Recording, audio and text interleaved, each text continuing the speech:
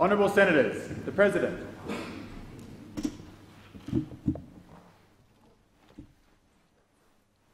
I acknowledge the Ngunnawal and Ngambri peoples who are the traditional custodians of the Canberra area and pay respects to the elders past and present of all Australia's Indigenous peoples.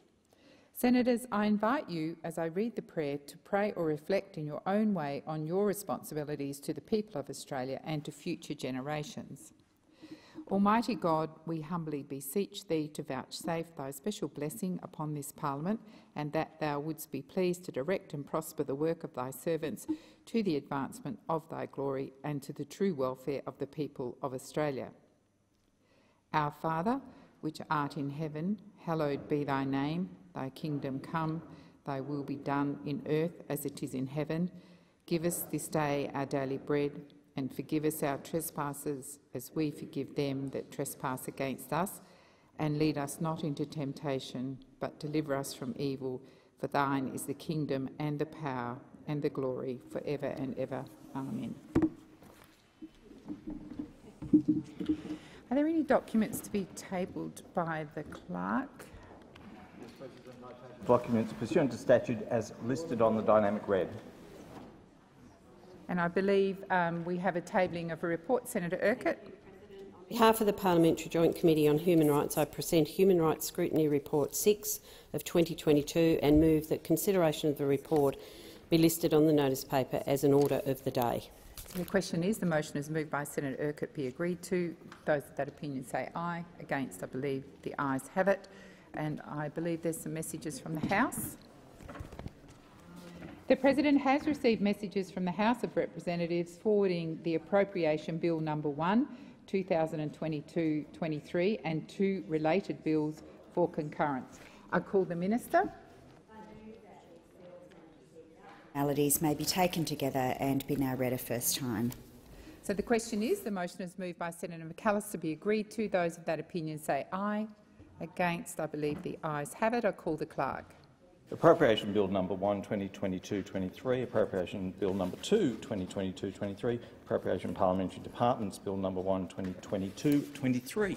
I call the Minister. I move that these bills be now read a second time and I seek leave to have the second reading speeches incorporated into Hansard. Is leave granted? Leave is granted. Thank you, Minister. I move that the debate be now adjourned. So the question is that the motion is put by the minister be agreed to. Those of that opinion say aye. Against, I believe the ayes have it. The President has received a message from the House of Representatives informing the Senate that the House has agreed to the amendments made by the Senate to the High Speed Rail Authority Bill 2022. Senator Urquhart. Thank you. I seek leave to move a motion relating to leave of absence for Senator Brown. Is leave granted? There's no objection. Leave is granted. Senator I move that leave of absence be granted to Senator Brown for today for personal reasons. So the question is, the motion is moved by Senator Urquhart be agreed to. Those of that opinion say aye. Against, I believe the ayes have it. Senator Cadell. Leave to move a motion relating to a leave of absence. Is leave granted? Leave is granted. Senator Cadell. I move that leave of absence be granted to Senator Hume for 25 November for personal reasons. So the question is, the motion is moved by Senator Cadell be agreed to. Those of that opinion say aye. Against, I believe the ayes have it. I'll now call the clerk. Government Business Order of the Day Number 1, Treasury Laws Amendment Electric Car Discount Bill 2022, further consideration in committee.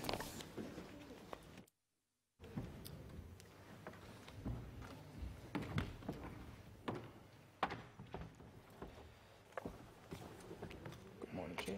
Morning.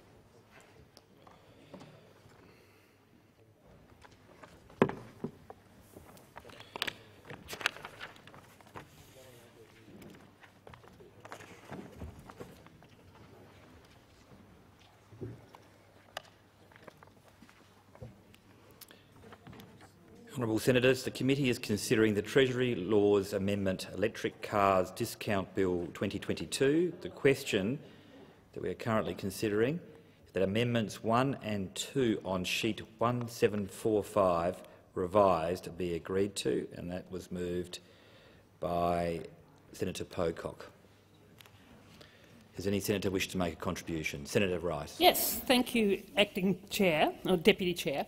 Um, I did actually have one further question which came to me as I was riding my bike into Parliament this morning as to whether bicycles or indeed electric bicycles are covered under this legislation because it would seem to me that if you're offering fringe benefits tax exemptions that that would be a very sensible thing and for a lot of people, particularly electric bikes, people are choosing to purchase an electric bike rather than a, a second car often and um, something that we really should be encouraging. And certainly bicycles, pedal-powered, human-powered ones, are the ultimate um, zero emissions vehicles.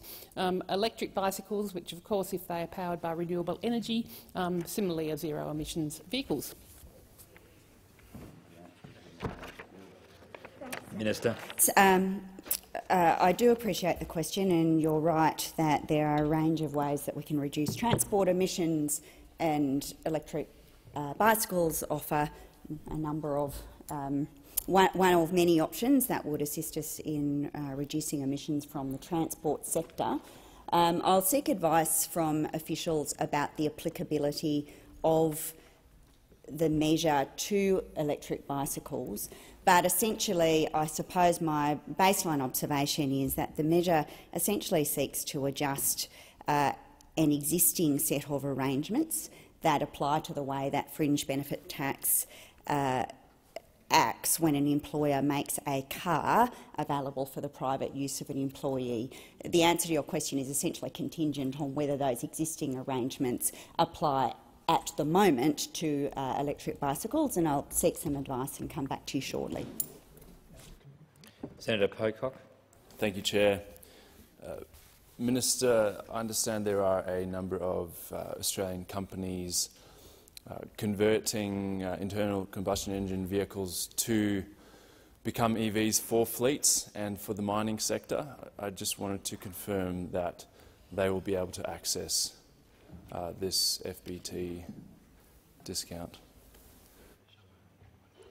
Minister. Uh, thanks very much, Senator Pocock, and I appreciate your interest in this area. Um, essentially, vehicles' uh, eligibility is determined by the eligibility criteria. This measure only applies to cars. Um, so if the um, it would be dependent on the circumstances, um, principally on whether or not the vehicle that was thus created was a car um, for the purposes of fringe benefits tax. Um, as I understand it, there are a set of thresholds that define a car and distinguish it from a sort of a more heavy purpose um, vehicle, and I understand that amongst that criteria is carrying capacity of a tonne. Um, so it would be dependent on the specific vehicle that was being manufactured or, or, or produced. Senator Pocock.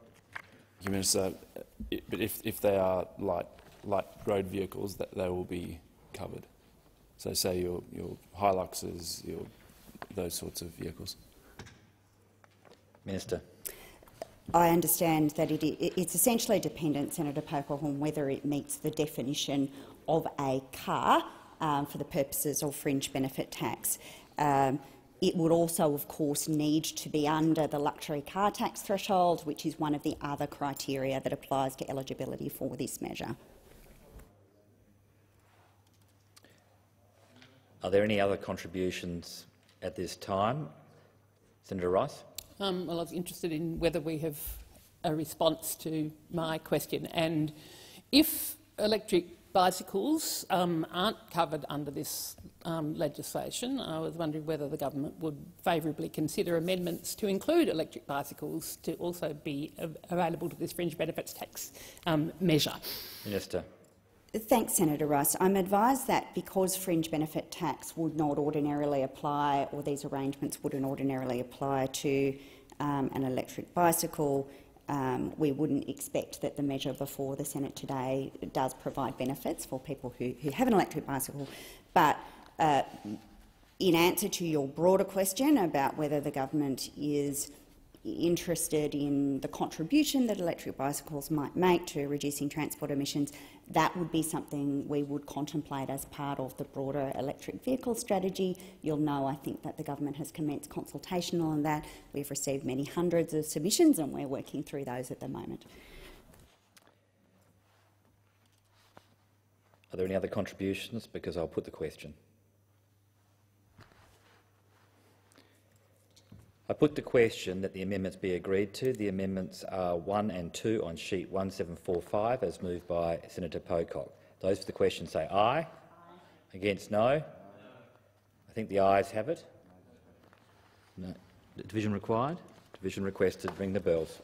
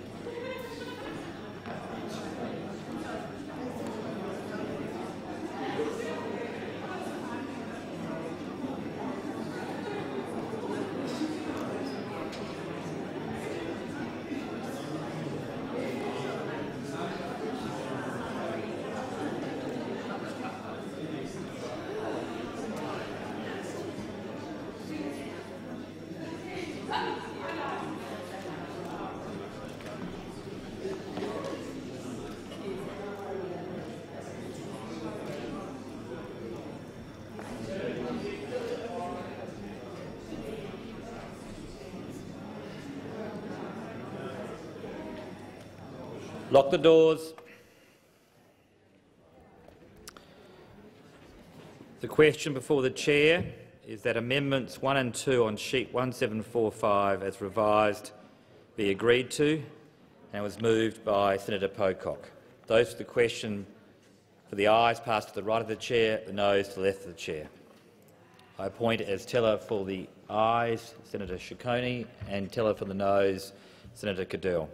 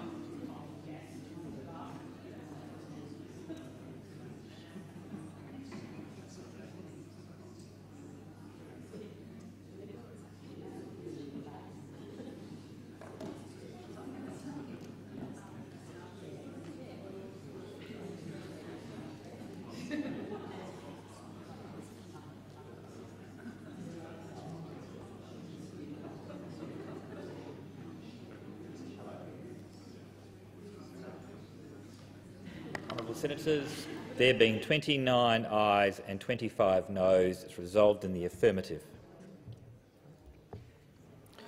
Does any honourable senator wish to make an any further contribution in the committee of the whole? No senator has indicated they wish to make a further contribution, so I intend to put the questions. The question is that the bill as amended be agreed to. Those for the question say aye. Against no. The ayes have it. The question is now that the bill be reported.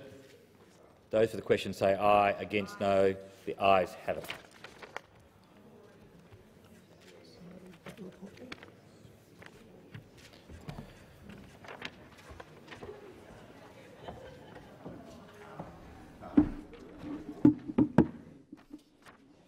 Honourable Senators, the committee has considered the Treasury Laws Amendment Electric Car Discount Bill 2022 and agreed to it with, with amendments. Minister. I move that the report be adopted. Those for the question say aye. Against no. The ayes have it.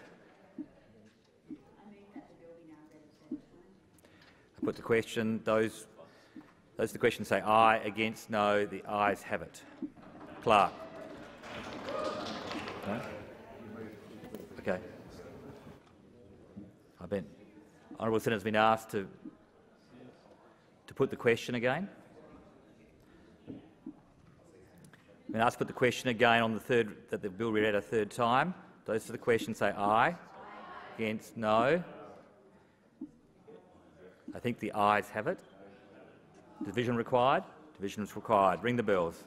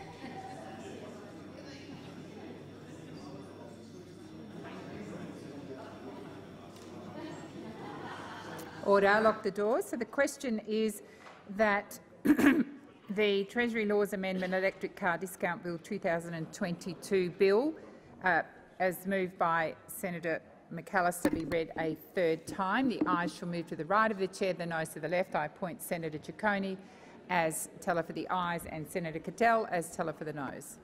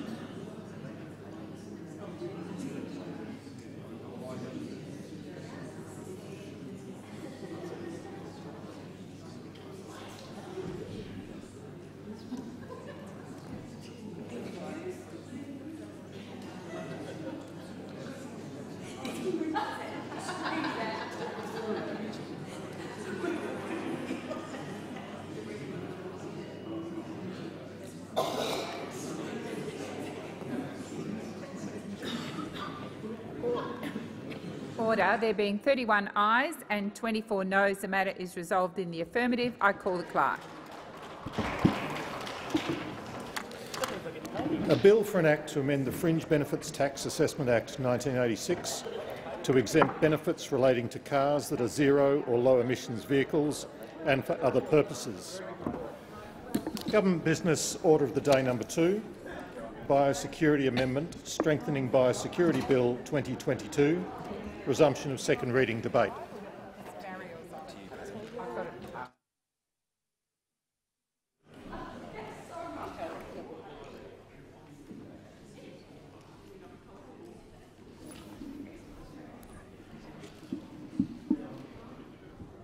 Senator McKenzie. Thank you, Mr Deputy President.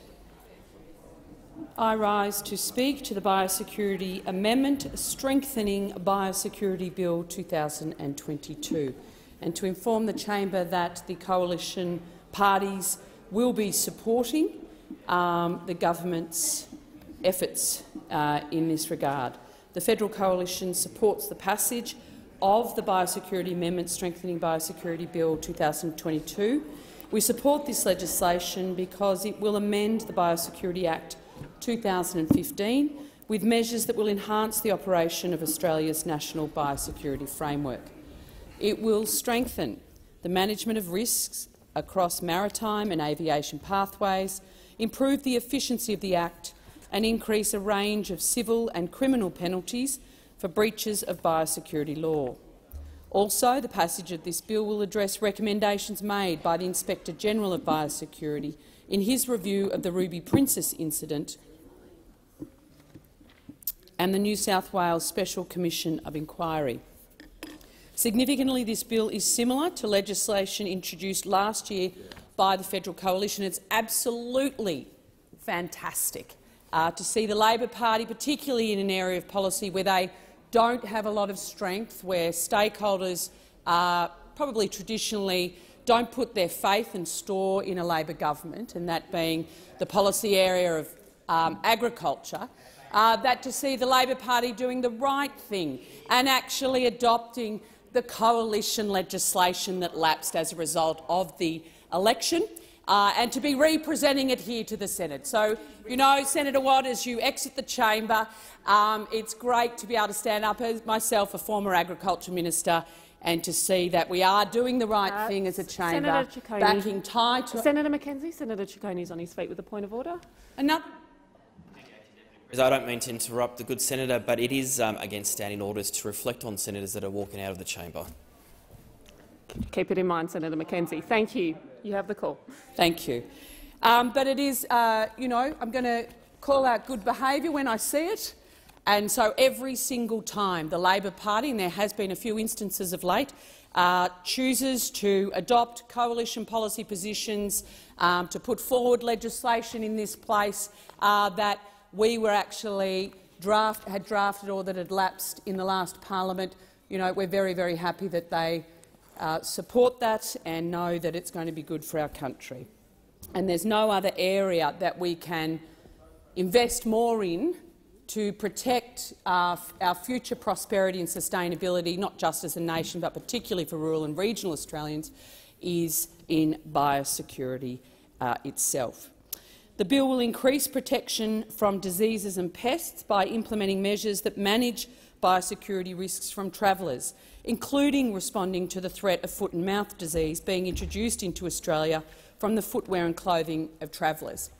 Now, if the Federal Labor Party had uh, been more robust in supporting this legislation when it had the coalition's name on it, it would have been a lot easier for the now Agriculture Minister to direct travellers returning from Bali in June, July, uh, August this year with the threat of foot and mouth disease, direct them specifically to that they had to uh, walk through those footbaths, etc., and a whole raft of other measures to increase um, our biosecurity but, and also decrease the risk of such a disease getting into Australia. So better late than never. Uh, so well done, Minister Watt, on finally getting this uh, before the Senate. While this is welcome, it is worth recognising that it was the federal coalition who was calling for footmats to be installed, and the NFF, I might say, at international airports once foot and mouth was detected in Bali, given the increased risk of travellers. And it was Minister Watt and the Federal Labor Party that was sort of standing up saying that wasn't needed and people coming back for Bali were in thongs and so they didn't want to go through the foot and baths because it was going to hurt their feet. Well, I can tell you, no, no, I'm happy for those senators, Madam Chair, Senators, so, so I'm happy. Senator McKenzie. Senators are reminded of the need to be orderly. Interjections are disorderly. Senator McKenzie, please resume. Thank you, Madam Chair, for your protection. Um, I'm happy for those uh, senators who can't recall that classic interview of the minister. I think it was on Sky, but you know, I'll, I'll search my records. I will, I will send Senator McCarthy and Senator Ciccone and any other uh, government senator that doesn't believe that the agriculture minister uh, was more concerned about uh, Australian travellers coming back from Bali wearing thongs and what these chemicals may do to their precious feet than he was in protecting Australia's livestock industry from foot and mouth disease. But, you know, I'll leave that for another day. I will return to the bill before us. So it's good uh, that they're now in place, but this government flip-flopped about whether to install the mats in the first place, and by the time they did, uh, it was uh, way too long. In the weeks that it took for your government to make up their minds and take action, over 79,000 international travellers arrived in Australia from Indonesia, 93.4 per cent of those from Bali, without having to disinfect their shoes, without having to go through a raft of measures to provide security to Australian producers and indeed the future prosperity of this um, trade. I mean, one of our great, great um, gold stars internationally is that we are foot and mouth disease free, which means that our primary produce can um, require a higher price in international markets. That's a good thing. That's a good thing, but that only works as long as we keep foot and mouth disease out. So sorry if I'm not going to share the great offence of the Labor Party of people's precious little feet uh, being, you know, impacted by measures that will actually protect this great industry and our future um, trade prospects. In a positive move, this bill will strengthen um, pre-approval reporting by ensuring that pre-arrival reporting requirements of the Biosecurity Act will be expanded to ensure that accurate and up-to-date information is available to assess biosecurity risk, including the human health risk of arriving vessels and aircraft. Penalties for operators and people in charge of aircraft and vessels who do not comply with these requirements will be expanded and strengthened. The importance of having a strong biosecurity system should never be underestimated. In 2020, the value of Australia's biosecurity system was estimated to be $314 billion over the next five decades. So it's absolutely essential that compliance with our national biosecurity laws and frameworks is always maintained, that we never become complacent about this. Uh, and it's, it's not sexy. People, you know, you won't be finding uh, Victorians in marginal seats this weekend uh, casting their vote for or against Premier Daniel Andrews' um, re-election, and I hope not. I hope not, Senator Ciccone, uh, that Victorians will make a, a, cast their vote for a positive future uh, in my home state of Victoria. So this, but this won't be one of the topics that they think about, because it is out of sight, out of mind. Uh, but it is critical for our future uh, economic prosperity that we, uh, as legislators, keep our mind and eyes focused on keeping this framework as strong uh, as, and robust as possible. It's absolutely essential that compliance with our national biosecurity laws and framework is always maintained and that the penalties in place reflect the seriousness of the risk. They're going to destroy people's lives and livelihoods and future um, prosperity.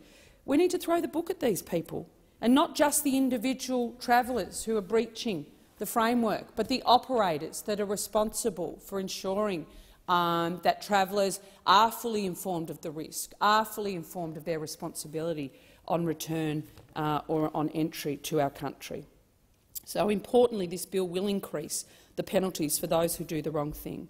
People who put at risk our biosecurity system by failing to comply with these new requirements will face civil penalties of up to 120 penalty units, or $26,644 26, $26,640,000. That's, that's, you know, that's a few trips to Bali if you get it wrong. A lot of thongs. A lot of thongs. So please fill out. Uh, yep. You're going to be hit with a massive fine if you don't take our biosecurity framework as seriously as we do, um, and that's a good thing. Those who deliberately conceal risk goods will face stiffer penalties of up to $5,000. So, uh, when you tick the card, when you're coming back into Australia, and do you have any meat products or animal products um, in your luggage, if you've stuffed the meat pie, the Hungry Jack's burger in your carry-on luggage, that's concealing meat products. So that's going to be a very, very, very expensive, um, you know, Whopper with cheese. It's going to cost you $5,000, and so it should, because, you know, this is important stuff. And I think for those people who aren't linked to rural and regional Australia, who don't understand how important the livestock industry is um, to our national economy, but also um, particularly to local economies, they don't think they don't realise uh, what they're doing. And so I hope that operators of vessels and of aircraft will make it very, very clear to their travellers the risk if they think, oh, well, it's just a ham sandwich. It's just a ham sandwich that I didn't finish. I'll save that for the bus trip, the Sky Bus, back into Melbourne, because the Labor Party hasn't uh, built our, our airport to CBD rail yet, um, so they're going to have to get on that sky bus. I'll save that ham sandwich for then. Don't. Declare it, because again, that'll be a very, very expensive ham sandwich. For operators, the increased penalties are up to 222,000 for an individual and up to $1.1 million for corporate bodies. And the remaining measures in the bill will simplify the process for making decisions identifying prohibited conditionally non-prohibited and suspended goods or granting permits based on risk assessment. The bill will allow the Agriculture Minister and the Health Minister to authorise expenditure on biosecurity-related programs to increase efficiency and allow more transparency of such expenditure. More effective sharing of information with government agencies and other bodies will be secured, whilst ensuring necessary confidentiality. It will also improve the operation of provisions relating to approved arrangements and compensation. Overall, these are sensible measures um, that the federal coalition will be supporting. Australia's biosecurity system is a crucial pillar in our national defence, helping us to prepare for, protect against and respond to risks to our environment, economy and way of life. Our nation has enjoyed a reputation for clean, healthy and disease-free agricultural production systems through our natural advantage of geographic isolation. This has also given our producers an edge in a very competitive international environment, and this rock-solid reputation is not something we should ever put at risk. We need a strong biosecurity system because in 2020 Australia's environmental assets were valued at a staggering $5.7 trillion over the next five decades, and they cannot be replaced. We are a unique nation, continent, with a unique flora and fauna heritage that is completely at risk if we do not keep um, pest and disease out. Um, and so uh, we also need to ensure that our great agricultural production, which is projected, to reach $82 billion in 22-23, supports 1.6 million Australians uh, at work. 1.6 million Australians can thank our fabulous agriculture industry for their job. And that industry is very much premised, and its success and future pro prosperity is premised on keeping pest and disease out in an increasingly competitive global market. And before COVID, tourism itself contributed $50 billion to our GDP. There's a lot of people, a lot of planes, a lot of vessels, a lot of people coming to our shore, all of them representing a risk to our biosecurity framework. So it's important to point this out because the health of all these sectors rely on a strong and robust biosecurity system. We are very, very proud as a coalition of our track record uh, when we were in government because we made it a priority. In 2023, we made more than $1 billion available for biosecurity and export programs, an increase of 69 per cent from 14-15. In government, we also increased fines for people breaking biosecurity laws, and I was very, very uh, happy as minister to hand a few of those out and ensure that um, people that did the wrong thing were fined appropriately and are unable to return to our country within timeframes um, for doing the wrong thing, because for not treating our nation with the respect that we deserve. Given the increased risks at our border, with a major foot and mouth disease outbreak in Indonesia, threats of varroa mite and lumpy skin disease, the federal coalition will always lend our support to outcomes that will strengthen our biosecurity uh, system because we're a world leader. Um, we commend the bill to the Senate. Uh, thank you. Senator Cadell. Chamber. Clark. Clark. What's the script for quorum? Uh, quorum not present. Ring the bells.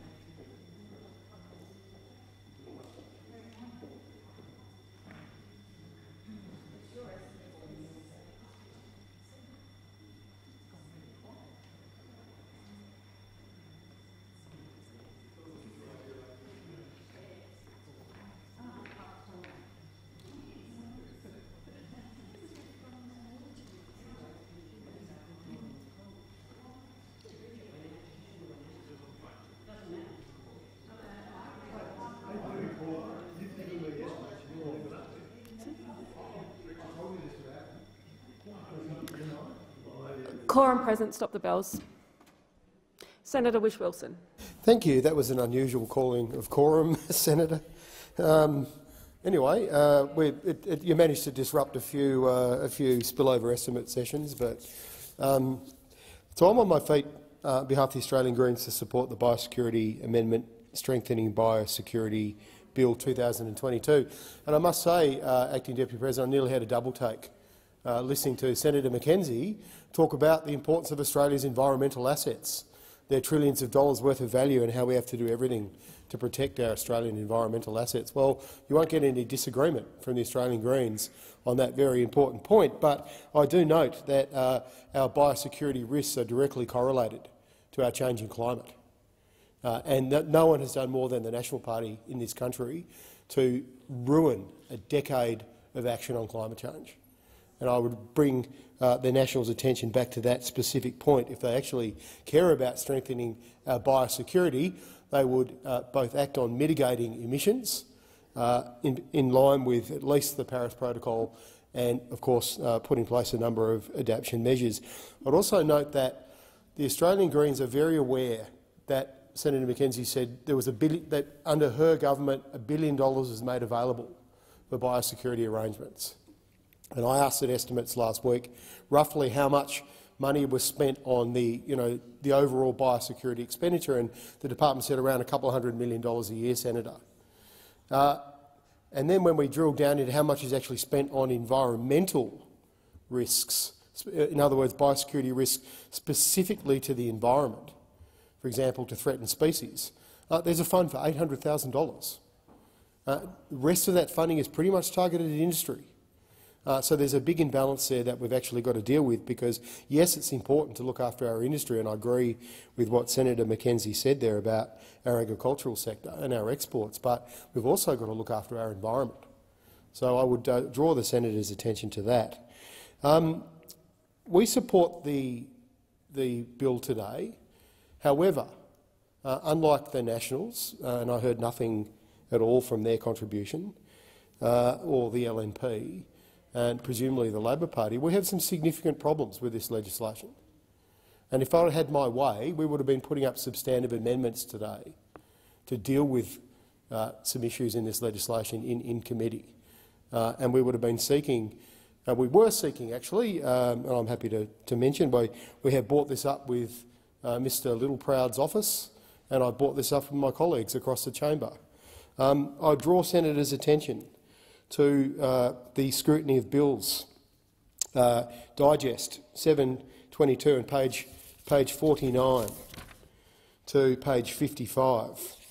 And they draw the attention of the Senate uh, and, and various committees to the appropriateness of exempting instruments made under proposed section 196A in this uh, legislation, proposed section 196B and proposed section 393B from the usual parliamentary disallowance processes and including no invalidity clauses at proposed section 196A and 393B.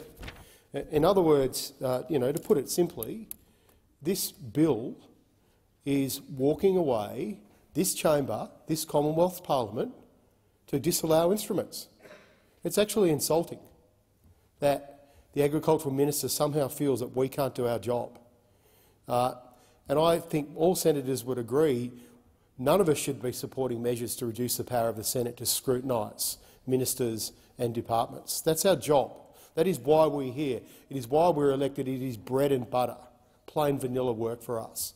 And yet here before us, while we, these, these, these, this bill is very important and we support what's in it, it shouldn't be beyond the scrutiny of this chamber. So I'll give you a little bit more detail on that.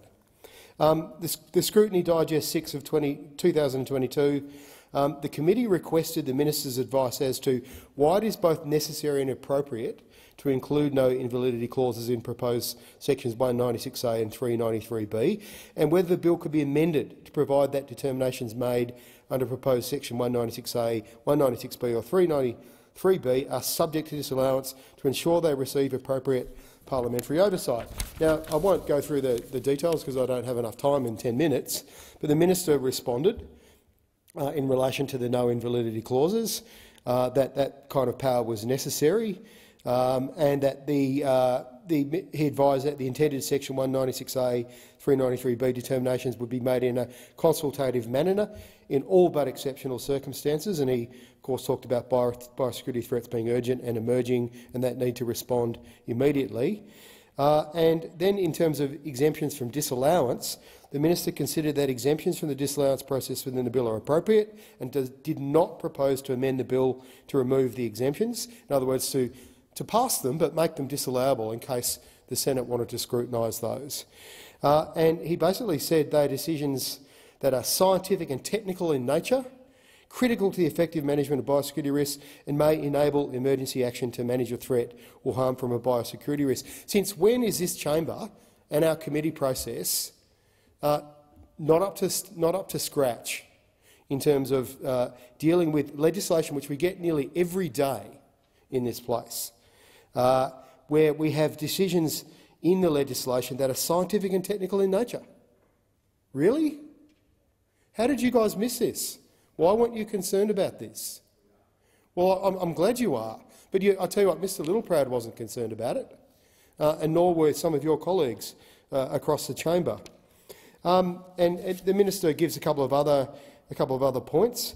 Uh, he noted that determinations would be made on the basis of expert technical and scientific assessments that determine whether a particular pest or disease poses an unacceptable level of biosecurity risk.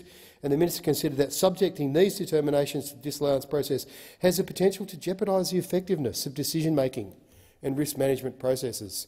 Again, we, do, we, we get that every day, and just about every piece of legislation we've passed in the last couple of days has technical matters and scientific advice in it. Um, he noted there were some safeguards in the bill. Uh, he also noted that disallowance would be inappropriate because it could generate uncertainty. In other words, having the Senate and the Commonwealth Parliament scrutinise regulations could create uncertainty. Well, of course it could. But once again, it's our job to do this. It is bread and butter work for us as senators. Um, and he, he gave more information there. He considered that a 15 sitting day disallowance period would give rise to considerable uncertainty around business requirements, among other things, as disallowance would take effect immediately upon the passing of the motion. Now, that's actually a little bit misleading. That would be the passing of the motion to actually disallow, if it was disallowed by the Senate. When disallowances are tabled in this place, they're effective immediately. Now, this is a, perhaps a, an interesting question for some senators. Um, in the last, in the years from 2010 to 2019, does anyone know how many how many disallowances were or pieces of regulation came before the Senate that were actually disallowed? Thousands, thousands. How many were actually disallowed out of the thousands that were brought before the Senate? 17. And I know a couple of those specifically. There was very good reason for that.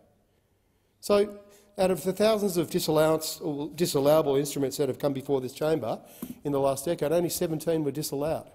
And yet the minister feels it's going to you know, create uncertainty in relation to this legislation. I do want to bring senators' attention to this. I don't have time to go into it, but the Scrutiny of Bills Committee made it really clear in responding to the minister's response um, that you know, this, the committee reiterates its view that simply stating that a matter is technically complex or has significant policy implications is not an adequate justification for removing democratic oversight over a law of the Commonwealth or reducing the scrutiny of the Commonwealth Parliament.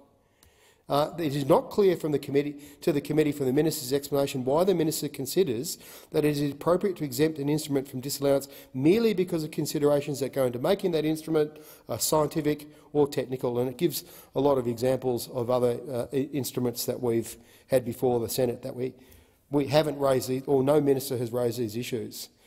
Um, he also goes on to say that in relation to the minister's advice the allowing the usual disallowance process to apply to instruments made under proposed section 196A, 196B and 393B would create an unacceptable level of uncertainty. The committee acknowledges that, yes, there's, there's some uncertainty, um, but this is our lawmaking system. This is how we make laws in this country. So I think I've said enough on this, um, and I as I mentioned, I, I, I, if, if we'd had support from across the chamber, we would have moved a substantive amendment on this. But I just want to get the Greens' concerns on record, that this is a slippery slope for us as a chamber uh, and as a Commonwealth Parliament when we, when we, walk, we so easily walk away from our role and our scrutiny of critical legislation. We support what's in this. We support what's in this, but we support our right to have a period of time to do more work on it, to seek commitment from stakeholders. And let's be honest, we're under a lot of pressure to pass a lot of legislation this week and next week. We haven't had a lot of time to seek and consult on the back of this. It would have probably been perfectly fine to have passed this and had them as disallowable instruments and they would have immediately gone into law and very unlikely would have been disallowed. So I think we all agree we need better biosecurity laws. The Greens have been very supportive of the current inquiry into biosecurity threats. We uh, lobbied to get varroa mite included into that, uh, that uh, uh ongoing inquiry, which uh, I'm, I'm, part of in the Rural and Regional Affairs Committee. Uh, you know, we absolutely support the need for better biosecurity laws, but we do not support reducing the power of the Senate. That is what we are. We are senators. This is our job. And I want to get that on record today. Thank you, Senator Whish-Wilson. Senator Scarr.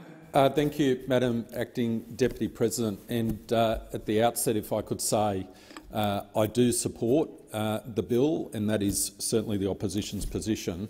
Uh, however, I also support everything that Senator Whish-Wilson just said in relation to the scrutiny process. And uh, I think this is an issue uh, which is going to be progressed in some form uh, over this life of this parliament in a way that um, all senators, all senators in this place need to closely reflect upon it now, uh, because there will become a time when um, these matters in relation to biosecurity legislation, indeed any other legislation that exempts uh, instruments from a disallowance process, are going to have to be considered by each and every senator in this place, because Senator Whish-Wilson is absolutely correct.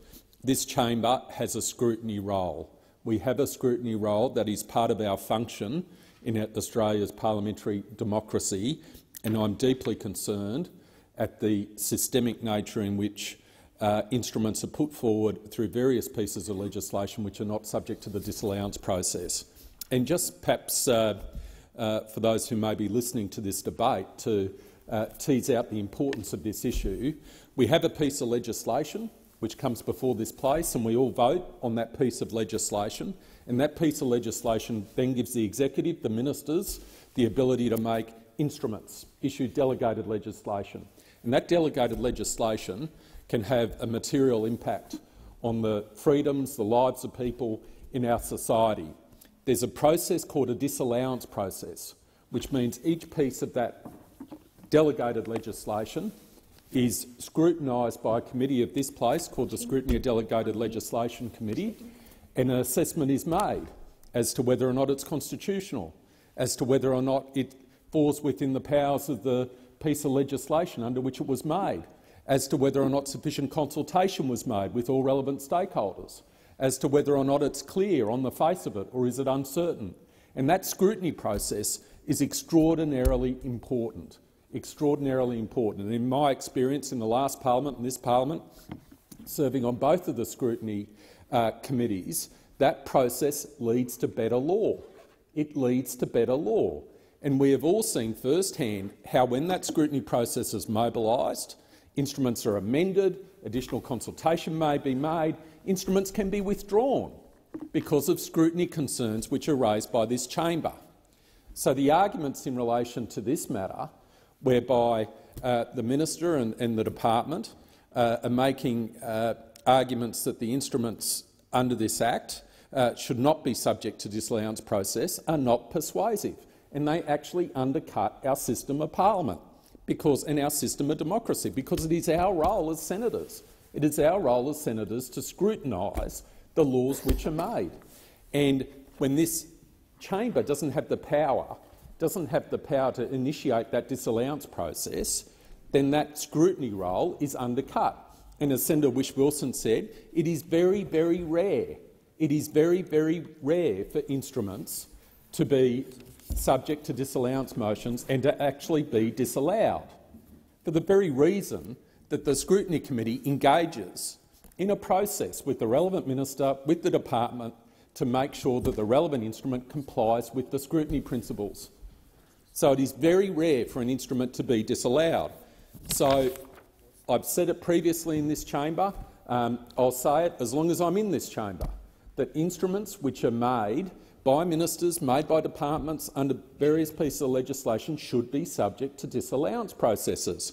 And I agree with Senator Whish-Wilson that the argument that something is particularly scientific or technical and therefore senators in this place don't have the capacity in, to, to assess it doesn't wash. It doesn't wash. It's not persuasive. All of us are considering legislation every day which is based on a whole range of different evidence, including scientific and technical evidence, commercial evidence, social evidence. That's our job. That's our job. And there is a, there is a latent paternalism, a latent paternalism in the concept that, oh, well, we can't let it go to the senators because we might not get the result we want. And from my perspective, from my perspective, um, that is simply inappropriate, and it's up to us as senators to push back at that. Now, I would have personally liked to have seen perhaps this to have been uh, one occasion where those arguments could have been further prosecuted, but there are time constraints, and I think it is important. I think it is important that the scrutiny committees actually act um, with a degree of uh, unanimity in terms of pushing these matters forward uh, in order to maximise the opportunity for the best result. And certainly that is something which I personally will be, um, will be working towards, and hopefully with the support of other senators. I do want to take this opportunity to read some of the um, excerpts from the Scrutiny of Delegated Legislation Senate Standing Committee report, Inquiry into the Exemption of Delegated Legislation from Parliamentary Oversight. And I think these quotes from leading experts, Australian experts, underlines the importance of the points made by Senator Whish-Wilson and the points which I'm making here today. So, I go to page 29, and this is a quote from Professor Twomey, who's Australia's leading, one of Australia's leading constitutional law experts, and I quote, legislative power is conferred upon parliament by the Constitution, and to abdicate that power, to abdicate that power would be to breach that constitutional conferral of power on parliament. Accordingly, Parliament must retain control over its delegated legislative power and be in a position to supervise the exercise of delegated legislative powers in order to be effective in exercising that control. Professor Twomey argues the mechanism of control and supervision is the process of tabling and disallowance. End quote. That's Professor Anne Twomey, a leading Australian constitutional expert. I give another quote from this report in section 3.44 and this is a quote from uh, Professor Kristen Rundle, Co-Director Centre for Comparative Constitutional Studies from Melbourne Law School. And this is her quote. Disallowance is not just a technical process that your committee can instigate. It's actually a principle, a principle that serves the operation of our constitutional order, and specifically the centrality of Parliament's lawmaking powers within it. It is not simply a presumption that can be rebutted when convenient." End quote. And that is my concern in this case. And Senator Ciccone serves on um, uh, at least one of the scrutiny committees. I can't remember. You, I'm not sure if you serve on both of them with me, but um, and, and, Senator Ciccone will be well familiar with um, with these arguments. It cannot be rebutted just when convenient, and that, that's what we're hearing from the relevant department in this case. I'll give you another quote from this report uh, and that is this. Uh, again from Professor Twomey, Parliament would completely abdicate its responsibility if it was unable to change the laws that provided for the delegated legislation. And so it goes on. A quote from, again, Chris, Professor Kristen Rundle, and, and I think this really sums it up. I think this really, really sums it up and underlines the, the concern I have that there's been this systemic shift over time to make delegated legislation not subject to the disallowance process and therefore not subject to the scrutiny of the Senate. And I quote, there's a cultural shift needed here, back towards the primacy of parliament, end quote. A cultural shift that's needed. And there is a cultural shift. And it does concern me deeply that we, as the elected representatives, appearing here in the Senate to represent our communities, have our scrutiny role undercut, abdicated, eliminated if instruments aren't subject to disallowance. And just consider those disallowance principles, what they apply to, whether or not the instrument has been made in accordance with the Act. That's not a scientific or technical issue. That is, if a, if a minister issues an instrument under an Act, did the minister have the power to do that? Isn't that something we should expect the Senate to scrutinise? Why shouldn't the Senate scrutinise that? It's absurd, the argument. Absolutely absurd. Whether or not a constitutional power has been exercised. Isn't that something we should scrutinise here as the Senate? Doesn't that go to the core, the absolute core of our responsibilities? Whether or not there's been adequate consultation with respect to an instrument. Again, that goes to the core of our responsibilities. Has the minister consulted with members of our community who are going to be most impacted by these instruments? And so many people in the Australian community have been impacted by instruments made under the Biosecurity Act, especially during the COVID pandemic. There needs to be consultation with respect to these instruments. Does the instrument inappropriately infringe upon the rights and liberties of Australian citizens? Isn't that something which we should be scrutinising? Of course it is. It can't be left to the departments. It can't be left to the executive in terms of the minister. There needs to be a check and balance. That's how our system works, or should work. I'll just, uh, uh, in closing, I'll, I'll, just refer to some of the, the arguments that sometimes used to justify this in terms of emergencies. We all understand that in certain biosecurity situations there can be an emergency and the department, the minister, needs to act quickly. The disallowance process does not prevent that because the instrument is issued, the action is taken, it has effect from the moment when the action is taken. What the disallowance process means is that once the instrument is issued, the exercise of that delegated legislation lawmaking power is then scrutinised. And if, if, in the unlikely event, and Senator Whish-Wilson gave you the numbers, in the very unlikely event that the issue can't be resolved through discussions between the Senate, Scrutiny Committee and the minister, then there's a disallowance motion which is put on the floor of this Senate. And it's at that point that each and every one of the 76 senators here can make their own assessment with respect to the arguments as to whether or not the instrument should be in place or not. And that's our job. That's our job. And there will be scientific and technical arguments. Of course there will be. Of course there will be. There'll be financial arguments, there'll be social arguments, there'll be arguments with respect to people's freedoms and liberties, etc. Of course there will be. That's our job, and we do that every day. And it's only if, it is only if a majority of the senators in this place believe that instrument should be disallowed that it is disallowed. That's the only situation. That's the only situation in which it's disallowed. And that is an extremely rare event. And I would have thought that the Australian community would be very concerned, would be very concerned if a majority of senators came to that view and were deprived, were deprived of their ability to actually disallow an instrument in that circumstance. What does that say about our system? That if a majority of senators in this place believed an instrument was inappropriate and should be disallowed and were deprived of our ability to actually cast a vote and put that into action. It's a major concern. This is a systemic issue it needs a solution, and uh, it's certainly something I um, am very uh, interested in pursuing discussions with uh, colleagues all across the chamber in order to rectify this matter, because it's simply not good enough. It's not good enough that we continue to see legislation introduced in this place which has instruments which are not subject to the disallowance processes and deprive the Australian people, deprive the Australian people of the scrutiny process which goes to the heart of this place goes to the heart of this place. So with that, um, I'll conclude my comments there. Um, I know many of my friends in this chamber uh, I've, I've, talked to about these issues, and a lot of my concerns and, and Senator Whish-Wilson's concerns, as he articulated, are shared by many in this chamber. And I, I just commend all senators to continue reflecting on this, and it's something we need to bring to a head at some stage. We need to bring it to a head and, and make some material action to assert the importance assert the importance of this Senate and assert the importance of the scrutiny processes which go to the heart of our role. Thank you, Senator Scarr. Senator David Pocock. Thank you, Acting Deputy President. Uh, while I do support this bill and the increase in the strength in our biosecurity laws, given how critical biosecurity is to our country, we're a megadiverse country, an island nation, and we've seen the devastation of invasive species and diseases on our biodiversity, on agriculture, on our economy.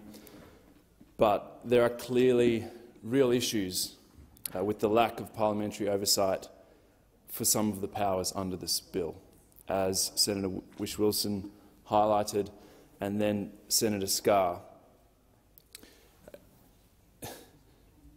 This does not seem like the proper way to be making these sorts of laws, and it is incredibly disappointing after the uh, significant uh, concerns that were raised by the, uh, the scrutiny committees that the government has proceeded uh, with the plan to make um,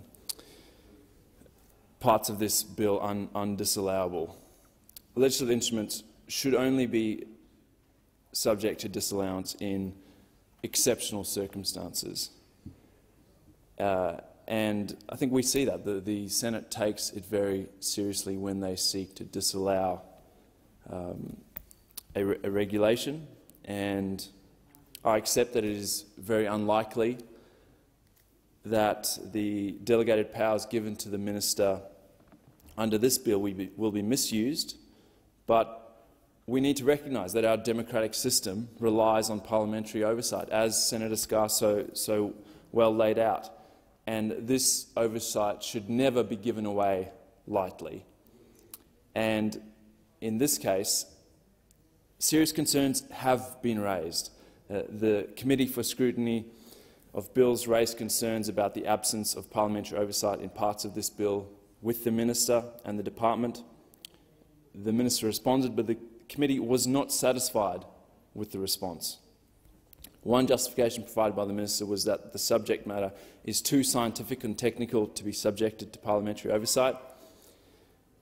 I stand with the committee's emphatic rejection of this justification. Uh, to quote, uh, and I believe this has already been, been quoted, simply stating that a matter of technical, technically complex or, or has simply saying that a matter is technically complex or has significant policy implications is not an adequate justification for removing dem democratic oversight over a law of the Commonwealth. The committee goes on. While it is often appropriate to delegate lawmaking powers to the executive in relation to technically co complex matters, it does not follow that such instruments should be sub subsequently be exempt from disallowance on that basis alone. A second justification offered by the minister is that oversight would create uncertainty. But it's completely unforeseeable that measures to increase biosecurity where a significant threat arises would be disallowed. There were only 17 instruments disallowed between 2010 and 2019. It, it, seems completely unforeseeable that, uh, for example, a regulation to increase the use of foot mats in response uh, to the increased risk of foot and mouth disease would be disallowed. Much of the questioning and talk I heard on this was, was for a swifter response, for a more stringent um, uh, approach when it comes to our biosecurity. So I, I, simply do not buy the arguments that have been, forward, been put forward uh, by the government to justify uh, what they're doing here. A a third justification offered by the minister is that any disallowance of regulations would have a significant impact. And this justification I, I find particularly problematic. Uh, surely where the consequences of laws are more significant, uh, more, not less, parliamentary oversight is needed. Uh, I will not be moving an amendment to this bill but I urge all senators to work to protect the oversight we were elected to provide. The Senate is the House of Review, and we need to make sure that this function is always properly applied. There, as someone who's new to this place, it, it seems to me that there, there's a huge amount um, of legislation that is issued in, in the way of, of regulations. The ministers deciding on, on aspects of, um, of policy. That should then be subject to oversight in here. We should at least be able to have the discussion to be, talk, to, be able to talk about it in this place, in committees, and then come to an informed decision after scrutiny. With this bill, the government is seeking to remove that oversight of the Senate, to remove that ability to ensure that the laws we make are in the best interests of, of the Australian people. As Senator Scarr pointed out, there are parts of this uh, bill that confer extraordinary powers, and you could argue, uh, rightly so, that that is justified when it comes to matters of biosecurity.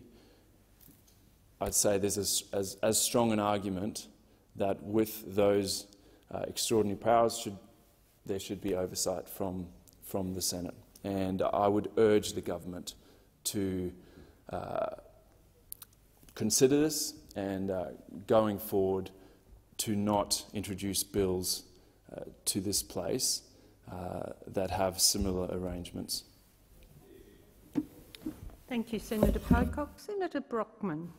Uh, thank you, Madam Acting Deputy President. Uh, I too rise to speak on the Biosecurity Amendment, Strengthening Biosecurity Bill. Obviously, this is something that's very close to my heart, coming from uh, regional Western Australia and being very concerned um, for the agricultural industry. Uh, obviously, biosecurity, biosecurity arrangements and successful biosecurity arrangements are one of the pillars that will enable agriculture to meet its growth targets over the next decade. So uh, obviously we are uh, extraordinarily happy to support measures that do uh, increase those protections, particularly for our agricultural community, and to see a constant evolution. This is a constant battle. Uh, as population flows, as trade flows increase, and these are good things, we like the fact that people move uh, we like the fact that people can travel. We like the fact that trade can occur between nations. This is a positive. This is a positive for our nation. This is a positive for other nations. It also does leave our uh, environment and our agricultural producers at risk of biosecurity threats. And obviously we've seen that very starkly revealed over the last six months with uh, foot and mouth disease uh, and lumpy skin uh, being found in our near neighbour in Indonesia. And uh, it is a constant battle to make sure that our systems and processes and the structures of our regulatory regime keep up with the uh, increased and, and, constantly increasing pressure uh, on, uh, on those systems. So we do need to keep a watching brief on this. This isn't something you can set and forget, so we do welcome the government's uh, introduction of these measures. Uh, we particularly support the bill because uh, it allows for a new uh, measures to manage biosecurity risk coming from travellers. Now, I guess, as I said, this is very important because of the recent outbreak of foot and mouth disease in Indonesia uh, and the risk of, of that disease finding its way into Australia, which obviously uh, would be absolutely devastating for agricultural producers. Uh, it expands pre-arrival reporting requirements for aircraft and vessels, and obviously getting people to think about biosecurity is one of the key tasks. If people think about it, they will act appropriately. If they don't think about it, then there's always the risk that things will slip through. It allows for better information sharing with government agencies and other bodies. Uh, it raises civil and criminal penalties for breaches, uh, which obviously, again, uh, if people are aware that there are penalties involved, they will behave more carefully. Uh, it increases transparency around the process, increases efficiency and transparency of expenditure on biosecurity programs, and improves the operation of provisions relating to the approval arrangements and compensation. Now, as I said, these are common sense measures. They certainly have our support and uh, they certainly have the backing of the agricultural industry. Thank you, Senator Brockman. Senator Roberts. Thank you, Madam Acting Deputy President. As a servant to the people of Queensland and Australia, I want to say that this is not just a plant biosecurity bill.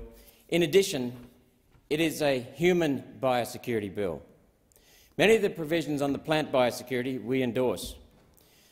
While we support many of those plant biosecurity initiatives, we cannot support the provision that enables the government to consign a class of people to quarantine. After the COVID mismanagement, deceit and abuse that we saw from state Liberal and Labor Party and National Party governments and a Liberal Party in government at federally, the last thing that One Nation wants to do is to give politicians and unelected bureaucrats more power.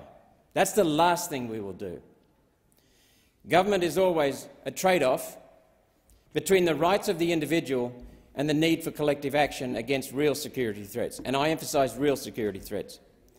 This bill, when it comes to the human quarantines, will move the weight of power further into the hands of government and unelected bureaucrats and away from the people. In the eternal human challenge between control and freedom, we must always support and enable freedom. To give any government this much power presupposes the government knows what to do with it. So let's have a look at the recent history of governments in this country when it comes to a virus and supposedly quarantining. I've compiled a list of 30 initiatives that occurred for the first time in our country's history. I'll just read a few of them. I'm not going to read all 30. This is the first time that governments forcibly injected people with something that can kill them and is killing them. People are dying in their hundreds and potentially their thousands in this country because we have not got the records accurate. Government prevents, this is the first time that governments have prevented sick people accessing a proven, safe, effective treatment in ivermectin and hydroxychloroquine. They banned it when other, other countries and good doctors in this country worked out it was very successful and very safe. It's been given in 3.7 billion doses, yet they were banned. And the doctors then were banned for doing their job. Greg Hunt, the then Minister for Health federally, said the world, this is his word, these are his words, the world is engaged in the largest clinical vaccination trial. It was experimental, it was a radical new gene therapy-based treatment, and yet it was being mandated. It's not been tested, it's had a literature review, that's it. We've seen a massive transfer of wealth from taxpayers to big farmers. How the hell can we trust government in this country, state and federal? They said towards the end of the second year, we now need to live with the virus. Oh, really? And then they extended the emergency provisions, the, state, the declared states of emergency. We cannot trust governance in this country. Then look, at the previous Prime Minister. He said repeatedly that Australia has no vaccine mandate. Scott Morrison's own words. Yet the Morrison-Joyce federal government drove the vaccine mandates that forcibly injected people, and at the very least, they enabled the mandates because it was the federal government, Joyce Morrison government, that bought 280 million doses of this stuff. They could have stopped the states at any minute simply by not giving the states the, the injections. Secondly, the federal government indemnified the states against vaccine damage. Thirdly, the federal health department provided the data and systems needed for states to enforce the mandates. The federal government drove this. The state premiers agreed because they say that their vaccine mandates are in line with the unconstitutional so-called national cabinet that the Prime Minister led, Scott Morrison led. The federal government mandated vaccines in aged care workers and Defence Department and the Australian Electoral Commission full of lies, not based on science. And that's just with the existing provisions, without this one that's being added. Then we saw AHPRA, a concocted regime based upon so-called national law.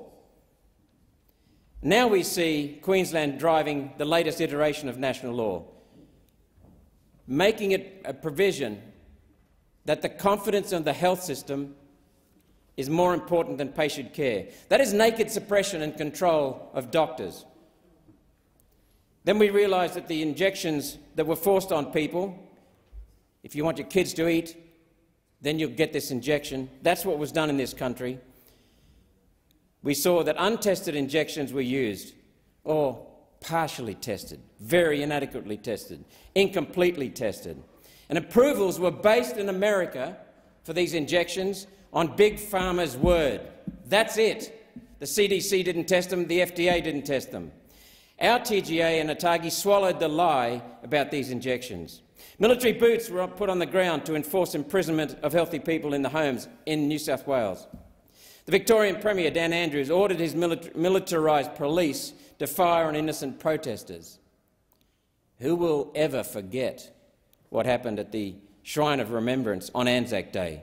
He locked down the Shrine of Remembrance on Anzac Day. Who will forget the digger who was stopped from entering the Shrine of Remembrance on Anzac Day? Arbitrary decrees, changing from one day to the next. How the hell can the science behind all these measures be, be, be science when they're conflicting? Science should be transparent, not locked in a cupboard. And if it's science, it should be consistent and debatable. None of this applied in COVID. Restrictions, Instead, we had censorship and persecution of good and decent doctors accused of being heretics. This is, not, this is 2022, not 1692 in Salem, Massachusetts, when dissenters were labelled witches and burned. Today, it's doctors and nurses being burned, their 40-year careers being burned at the stake. Now their careers are not even smouldering embers. They're gone. They're dead. Power must always be accompanied by transparency. And yet we cannot even get copies of Big Pharma's vaccine contracts with our federal government. The Greens and the Labor Party stopped that. The vote was tied. The process of dismissing almost 1,000 doctor-supported deaths due to COVID injections turned that into 15. So the process that was used by the TGA to take a thousand, almost a thousand doctors reported deaths, and doctors are responsible for reporting deaths in this country, and making it 15 is not even quantified, not even specified. It's arbitrary. And we also know from listening to doctors and nurses that the reported deaths are a tiny fraction of the actual deaths. So there's way more than a thousand. That's the story overseas as well. And now you want more power? More power to put classes of people into quarantine? Who would they be? Non-vaccinated people? And you want power over people. You're not going to get it from one nation. That's why we cannot support this.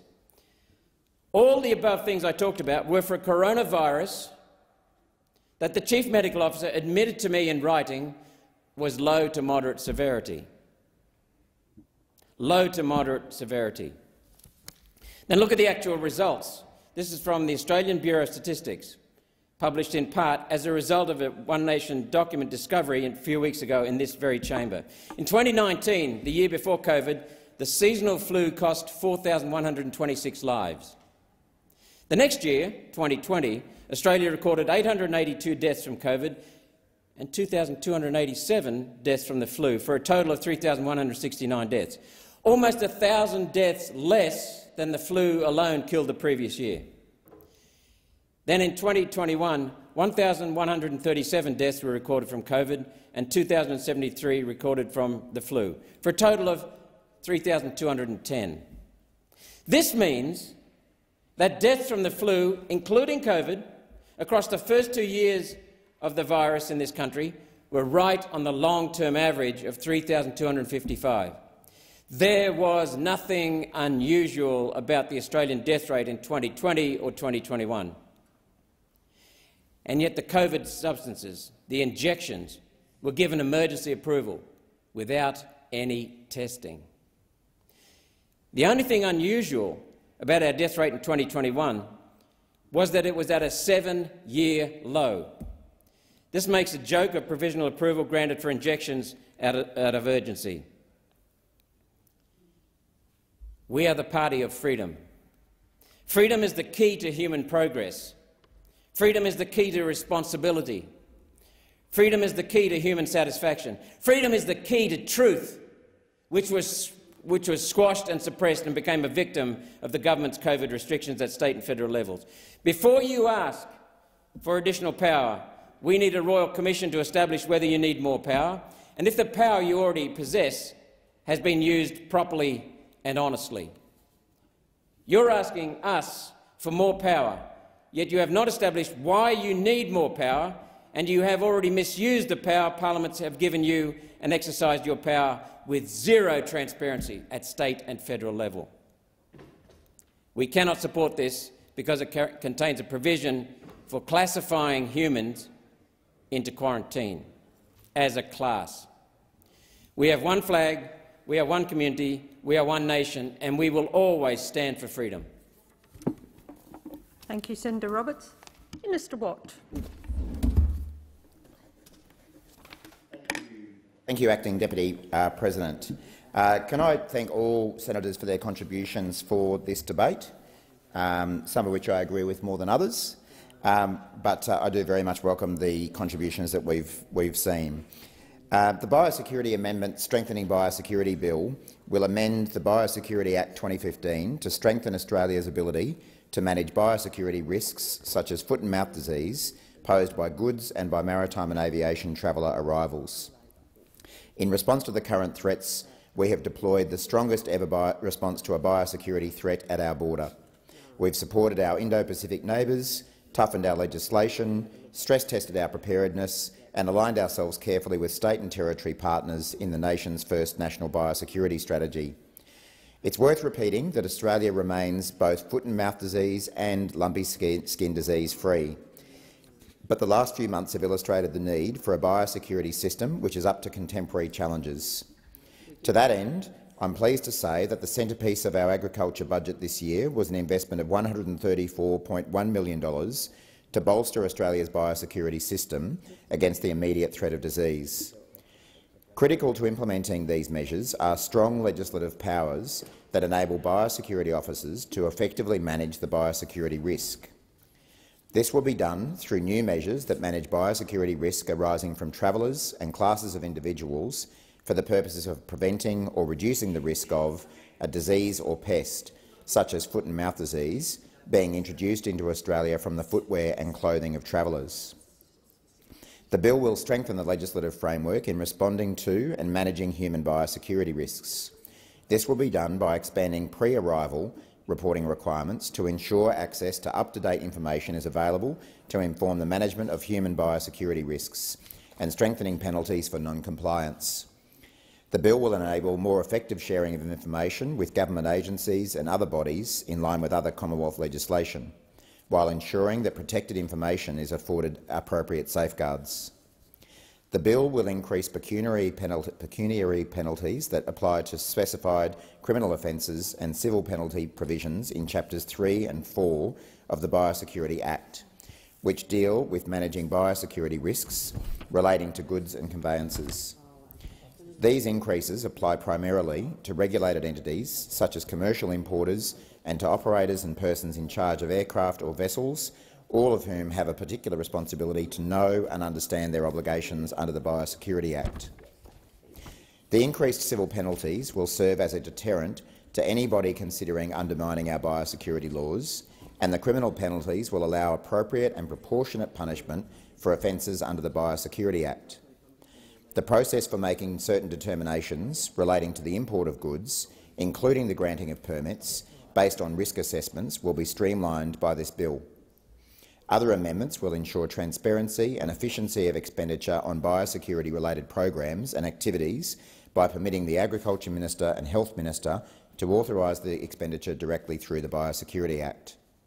This bill will enhance the effectiveness and efficiency of the management of approved arrangements while also improving processes for approved arrangement administration, auditing and the consideration of compensation claims. The bill will provide for a new civil penalty provision targeting individuals who attempt to conceal goods from a biosecurity official at the border. The new penalties will be subject to the infringement notice scheme under the Biosecurity Act and serve as a deterrent to carrying out this serious behaviour that could jeopardise Australia's biosecurity status. Uh, I know there's been a lot of public commentary uh, about the level of penalties that exist under current legislation in relation to biosecurity offences, and the government is taking action to lift those penalties uh, to ensure that we have strong deterrence against people doing the wrong thing and exposing our uh, food and livestock and grains and crops industries to biosecurity threats. Passage of this bill will ensure that the biosecurity framework remains effective and responsive in protecting Australia's animal and plant health, environment and economy. This includes ensuring the biosecurity framework remains fit for purpose when responding to emerging biosecurity and human biosecurity risks.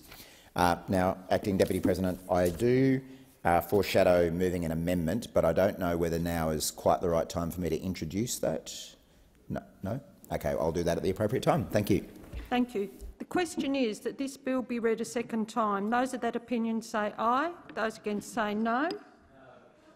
I think the ayes have it. The ayes have it.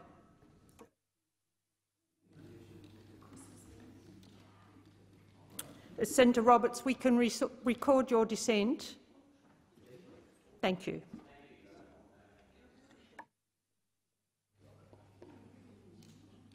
I call the clerk. A bill for an act to amend the Biosecurity Act 2015 and for related purposes.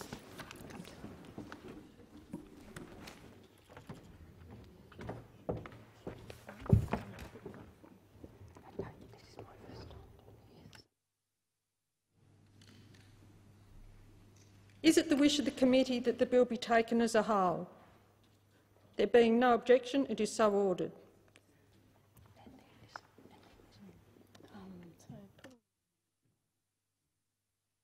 Minister. Um, thank you, Acting Deputy President. Uh, now would probably be the right time to move the amendments listed in, I think, in my name. Um, that's uh, on sheet TK327. So I, I so move. Is leave granted? Leave is granted. Sorry, I should have sought leave. Having, having, having got leave, I now move those amendments. yeah. In doing so, could I also table the supplementary explanatory memorandum relating to this amendment? Thank you, Minister. Senator Whish, oh, sorry, Senator Whish-Wilson. Just to briefly speak to that amendment. I'll call you next, Senator Whish-Wilson. Thanks. Minister. Um, thanks, Acting Deputy President. Australia's biosecurity system is facing increased risks due to individuals deliberately concealing goods to evade detection at the Australian border.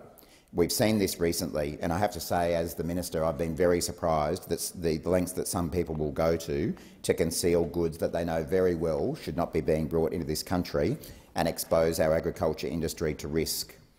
Individuals attempting to conceal goods such as meat and meat products, seeds and plant material, and fresh fruits and vegetables in their luggage, in their clothing or on their person, that is a serious flouting of Australia's strict biosecurity laws. These goods, uh, if undetected, could introduce serious pests and diseases into Australia, devastating our $70.3 billion agricultural export industries, the 1.6 million jobs across the agricultural supply chain and our way of life. Everyone should openly and honestly declare goods, such as food items, on arrival in Australia so that biosecurity officers can inspect the items and assess the biosecurity risk. The concealment of goods at the border prevents our biosecurity officers from being able to appropriately assess and manage the biosecurity risk associated with those goods. Under the current penalties scheme, individuals who attempt to conceal high-risk goods including within their luggage, are subject to the same penalties as individuals who conduct less serious behaviour. I don't think that's right. The, the, new measures in these amendments, therefore, will provide for stiffer penalties where someone demonstrates the more serious behaviour of concealing high-risk goods to evade detection. This may include acts like sewing goods into the lining of a suitcase or placing goods within a container with incorrect markings or labels. This includes a new civil penalty provision that would apply a higher maximum civil penalty of 1,200 penalty units. An individual may also be liable to an infringement notice with an amount payable of $4,440, the highest amount we have ever seen for an infringement notice for an individual under the Biosecurity Act, and this is approaching double the current amount of the infringement notices.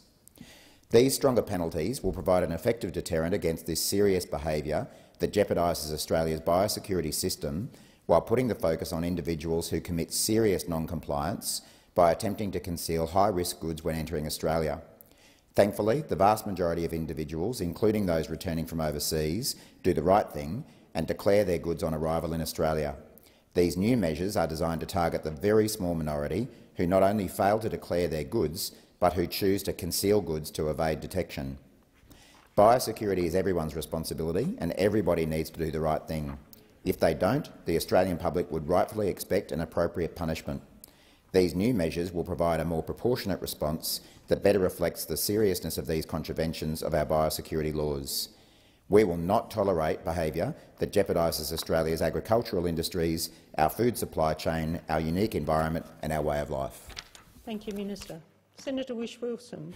Yeah, thank you. Uh, thank you, Chair. Um, I wasn't planning to ask any questions in this um, committee stage, but I did listen to the minister's second reading uh, uh, contribution and, and, was disappointed he didn't acknowledge the concerns that were expressed in this chamber uh, over the last hour around the fact that we're voting to support an important bill today, but we're also voting to reduce the power of the Senate, uh, and we're voting uh, against our own uh, function and duties to scrutinise legislation.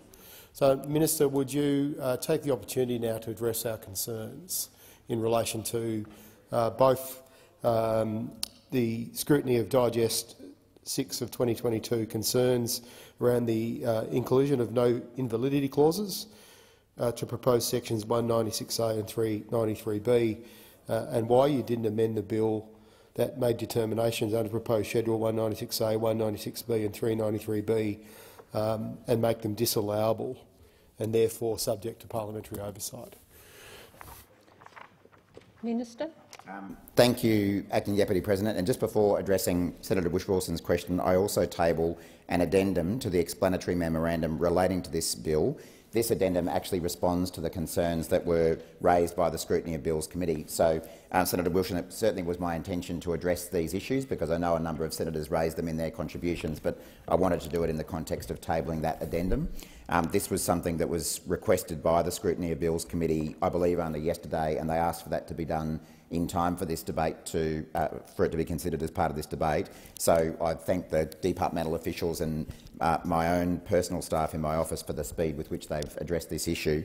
You're right, Senator Whish-Wilson. Um, there has been a lot of back and forth uh, in the last couple of weeks, particularly between uh, myself, my department, and uh, the scrutiny committees of this parliament uh, about what are essentially non-disallowable powers that are being provided through this legislation to uh, the Agriculture Minister of the day.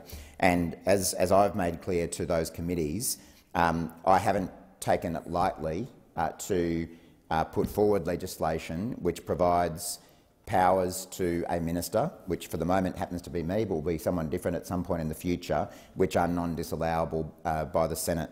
Um, obviously, the, the usual practice is that powers granted to ministers um, in whatever field are disallowable by the Senate to provide some sort of a check and balance on the potential misuse of those powers by ministers.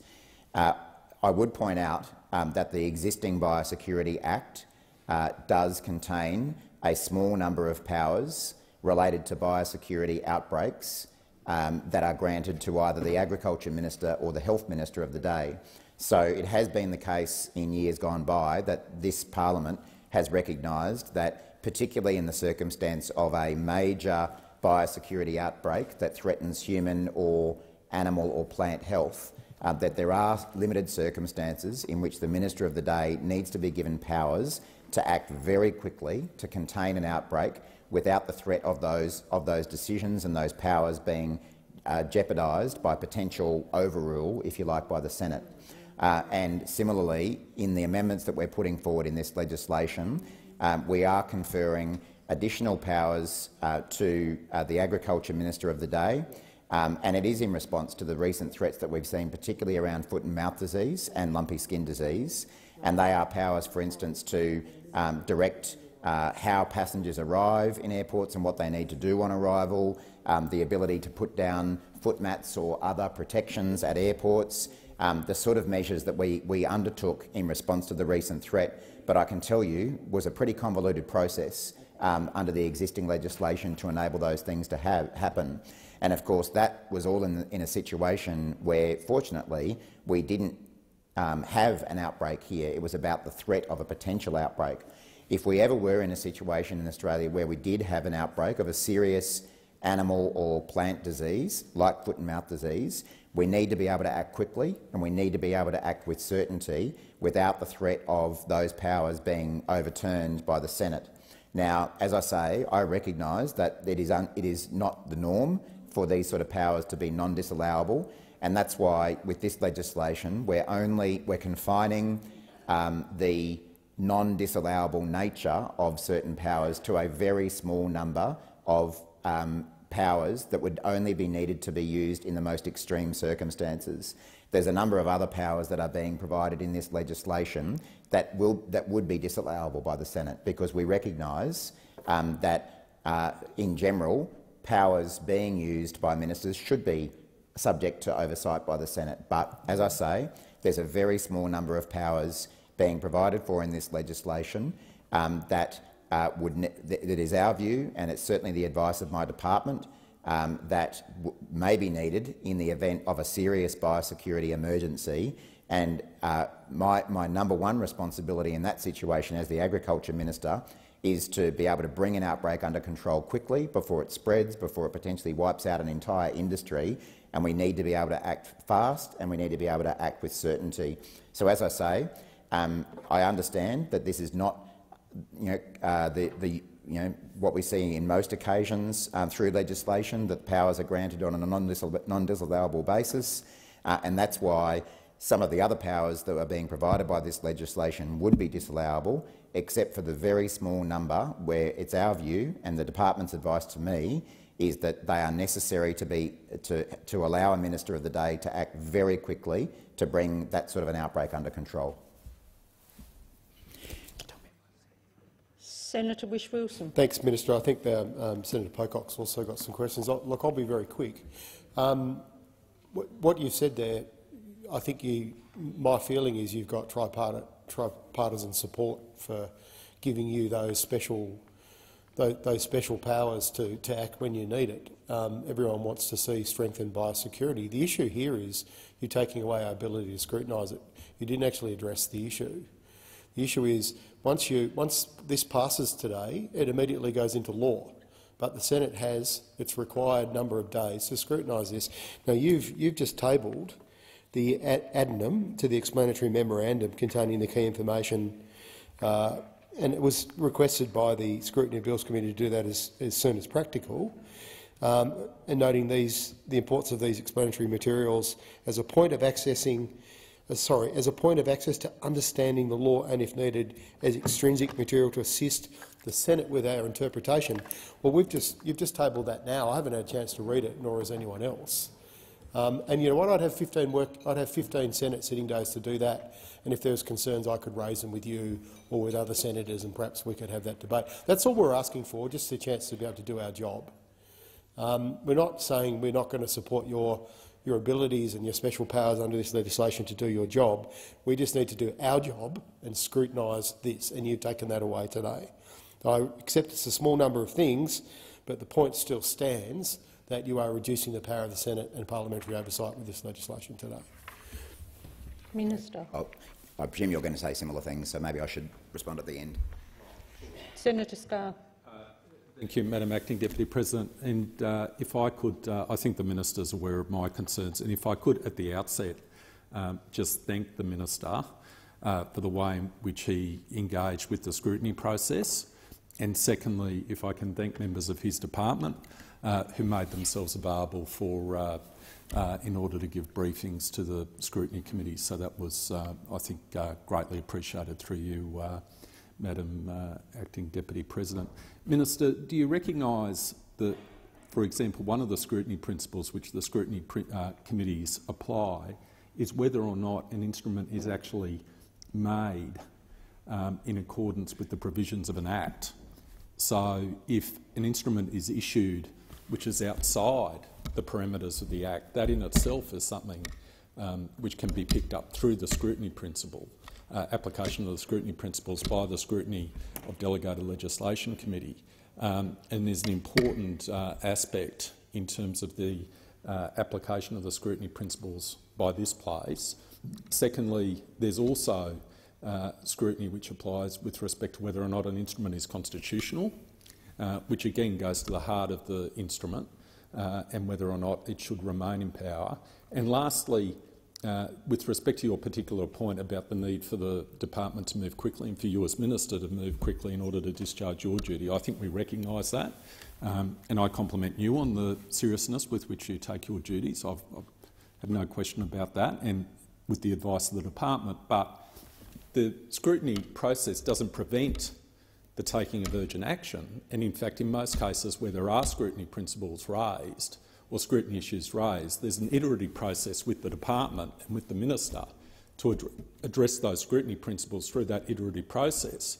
Um, and even if an instrument is disallowed, uh, it doesn't change the um, it doesn't go back in time to the point when the instrument was issued. It just looks forward in time, in the very unlikely event that an instrument is disallowed. So I'd be um, interested in uh, uh, you considering those points. Thank you, Senator Scarr. Sen uh, Minister. Um, thank you, Acting Deputy President. I thought I might just respond to the issues that have been raised so far. Um, Senator Whish-Wilson, uh, I think, um, sounds unhappy with the fact that that addendum to the explanatory memorandum has only been tabled.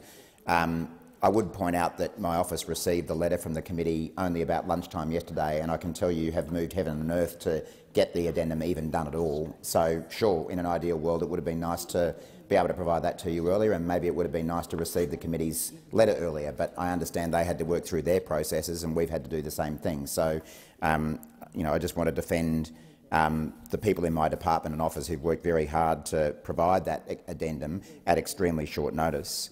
Um, the, before I just respond to Senator Scarr, Scarr's points, again, I just want to point out that this is not the first time that we have seen um, non-disallowable powers provided to a minister, the Health or Agriculture Minister, through the Biosecurity Act. In fact, the current Biosecurity Act contains 28 provisions that enable the making of legislative instruments that are exempt from disallowance. And again, that's because biosecurity outbreaks are extremely serious things that need to be brought under control very quickly. And as I say, I recognise that um, there are probably many more powers within the biosecurity legislation than 28 that are disallowable, um, but this is not an unprecedented action, and of course it is recognised um, in the, legis the Commonwealth Legislation Act that there is the ability for parliaments to confer non-disallowable ministers uh, powers on ministers for extreme situations. Um, it's not as if there is no power to do so, but it is important that when ministers come to this chamber and seek those sorts of powers, that they be confined to extreme situations, which is the case here. Um, and what is also the case here is that the non-disallowable powers we're talking about that would only be able to be used in the event of an extreme biosecurity emergency also can only be used on the basis of scientific advice. It's not, um, there's not some wide power for ministers to go out and do whatever they want. They need to be able to justify and demonstrate that they've got scientific advice from our biosecurity experts in the department, for instance, um, that, that the kind of actions we're talking about are necessary. Um, and as, as I say, they're for a very limited number of functions. Senator Scarr, I may not be able to call every single one of your questions, but the, the point that you made towards the end, um, and uh, we've had this discussion obviously in the lead up to this legislation, that um, uh, that if these powers were to be disallowable rather than non-disallowable, they can still be exercised, and if there is a problem with them, they can be then dealt with through disallowance. The, the, the risk, I guess, is not only are we talking about a situation where there's a biosecurity emergency, but a number of the powers that are provided to the minister require action from other people, such as airport operators, um, ports, and in some cases would require significant investments from them to be able to manage, to be able to do what the minister is directing them to do. And our experience is that it can take some time to negotiate these things with airport operators and ports and other people, uh, and particularly if you're talking about requiring people to make big investments to, to meet those powers, the risk that they are going to be overturned by the Senate we, we think is potentially a deterrent from the likes of airport operators, port operators and others to do what is necessary to be done. So I guess, again, we're talking about a situation where there's a biosecurity emergency. We need all action stations. We need everyone heading in the same direction very quickly, whether it be government, airport operators, port operators, biosecurity officers, whoever's involved, to contain an episode. And the risk of potential disallowance of these powers, we think, is a disincentive um, for some of the external parties that we need cooperating with us from getting on and doing what needs to be done. Senator Scarr. Thank, I thank the minister for that um, fulsome response. And again, I, I, in no way question the minister's integrity or sincerity in this respect, and I think he appreciates that. But, but minister, when you um, when you list, enumerate those those factors about commitments being made, isn't every one of those factors something which could properly be considered by the senators in this place when they're considering a disallowance and in the application of the scrutiny principles? Minister. Um, well, yes, it is, but every day that we either don't act or face the risk of powers being overturned is a day that a biosecurity episode could get bigger and more damaging to the community, to industry and to the environment. So that it's, it's all about the need for speed in a biosecurity emergency. Sen Senator Scarr, just wait sorry, for the call. sorry. Senator Scarr. Thank you, Thank you uh, Acting Deputy President. Um, and again, I, I, appreciate the comment you're making, but from my perspective, and I think my colleagues' perspective, uh, those are matters which could all be properly considered by, by the senators in this place. And I come back to two of the other questions I made, and I know I made a number of comments, Minister, so um, just to uh, return to those. One of the scrutiny principles which the Scrutiny of Delegated Legislation Committee considers is whether or not an instrument is made within, lawfully made under the power of the Act. And, and that is a key scrutiny principle which uh, I think you would um, be familiar with, Minister, uh, and a key, key role of the Scrutiny Committee to actually consider whether an instrument itself is lawful. And whilst the instrument might, might be based upon advice of the department, there have been numerous occasions, whilst I've been serving on the Scrutiny Committee, where instruments have been put forward where the Scrutiny Committee has gone back to the department and, and the minister and queried whether or not the instrument could be properly made uh, under the terms of the Act. And there's certainly one example in relation to the arena legislation where it was actually ultimately determined that um, no, it couldn't be. So a, that goes to the heart of whether or not an instrument is properly made within the ambit of the Act. And isn't that an important scrutiny principle uh, and an important matter for this Senate to consider in determining whether or not something should be subject to disallowance? Minister. Um, thanks, Senator Scarr. Well, two things. I mean, I think the, the senator has in some ways answered his own point by pointing to the arena example, which was ultimately found uh, to be outside um, the scope of the law. I don't know if it went as far as being found to be illegal, but it was found. So there are remedies there. And in particular, as you would know um, from your legal background, people do have the ability to, to challenge uh, what is effectively an unlawful action or unlawful decision by a government in a court. So in a, in a hypothetical situation where a minister used these uh, um, used powers that were not um, actually allowed to be provided by the primary religious legislation, that is a decision that can be challenged in court.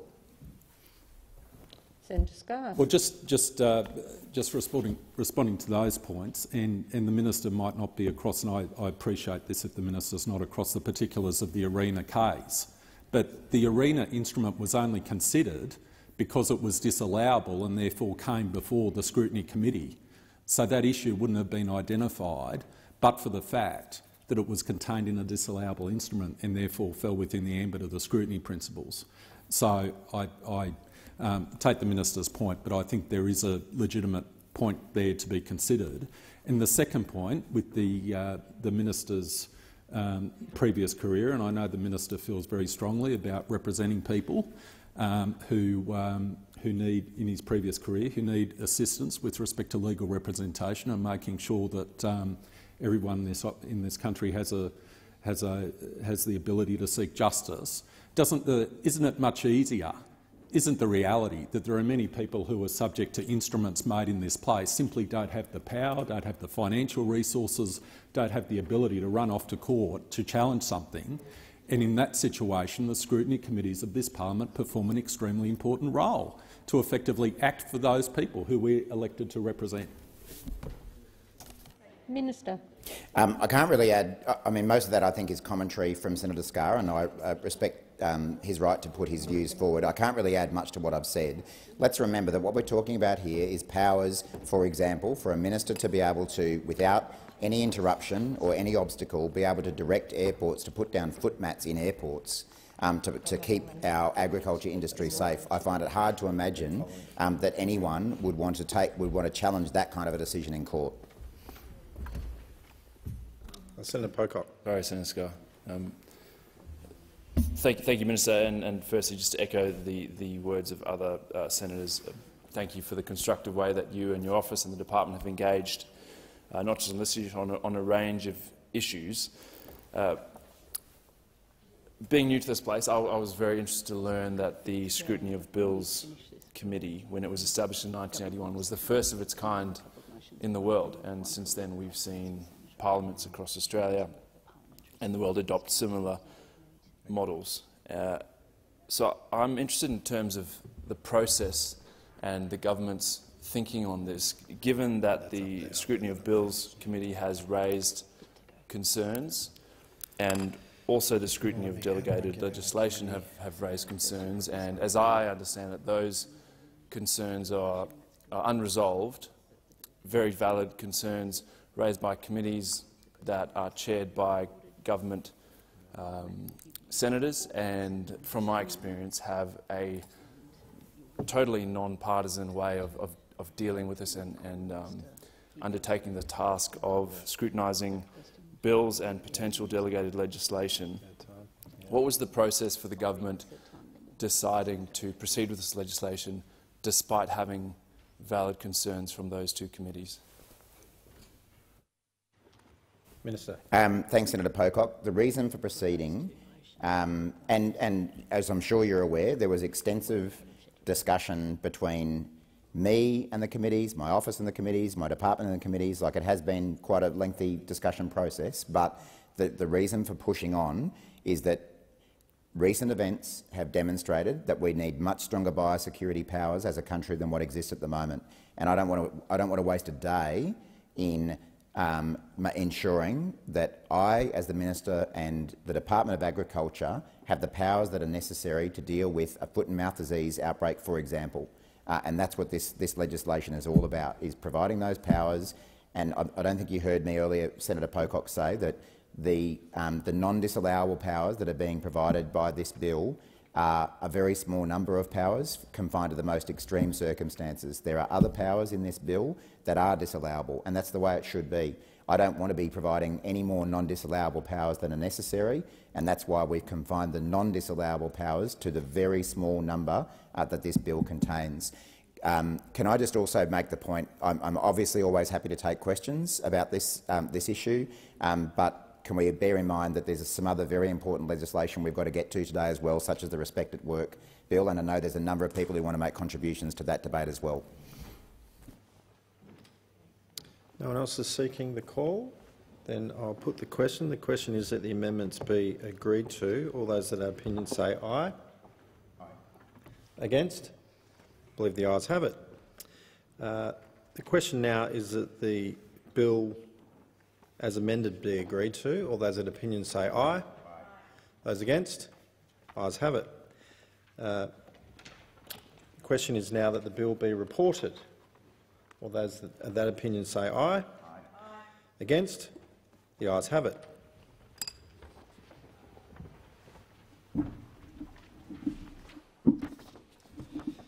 The committee has considered the Biosecurity Amendment Strengthening Biosecurity Bill 2022 and agreed to it with amendments. Minister. I move that the report be adopted. The question is that the report be adopted. All those in opinion say aye. aye. Against? The ayes have it. Minister. I move that this bill be read a third time.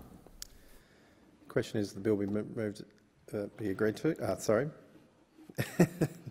the question is that the bill be read a third time. All those in opinion say aye. aye. Against? The ayes have it. The clerk. A bill for an act to amend the Biosecurity Act 2015 and for related purposes. Government Business Orders of the Day number 3, Anti-Discrimination and Human Rights Legislation Amendment Respect at Work Bill 2022, resumption of second reading debate. Uh, just, uh, Whip, yes. Between uh, those bills, I, on behalf of the Joint Select Committee on Parliamentary Standards, um, uh, and I'm sure the clerk will need to jump again. I'm seeking for us yeah. not to move on just okay. yet so that I can so do you, this you'll need to seek leave. May I seek leave? I just need to move on behalf of par parliamentary committees to move that committees can meet and to move a leave of absence. It'd be. Yep. Uh, is leave granted? Uh,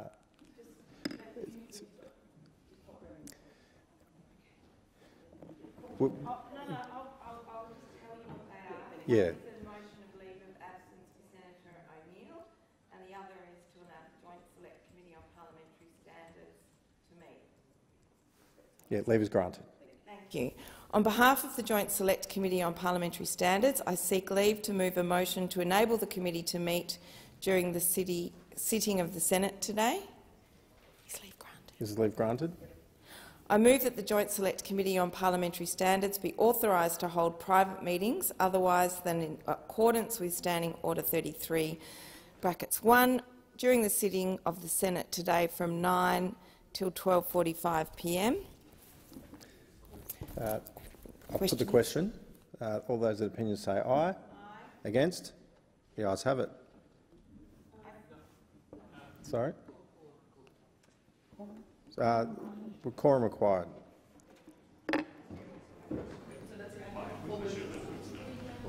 Cancel? Oh, we can't.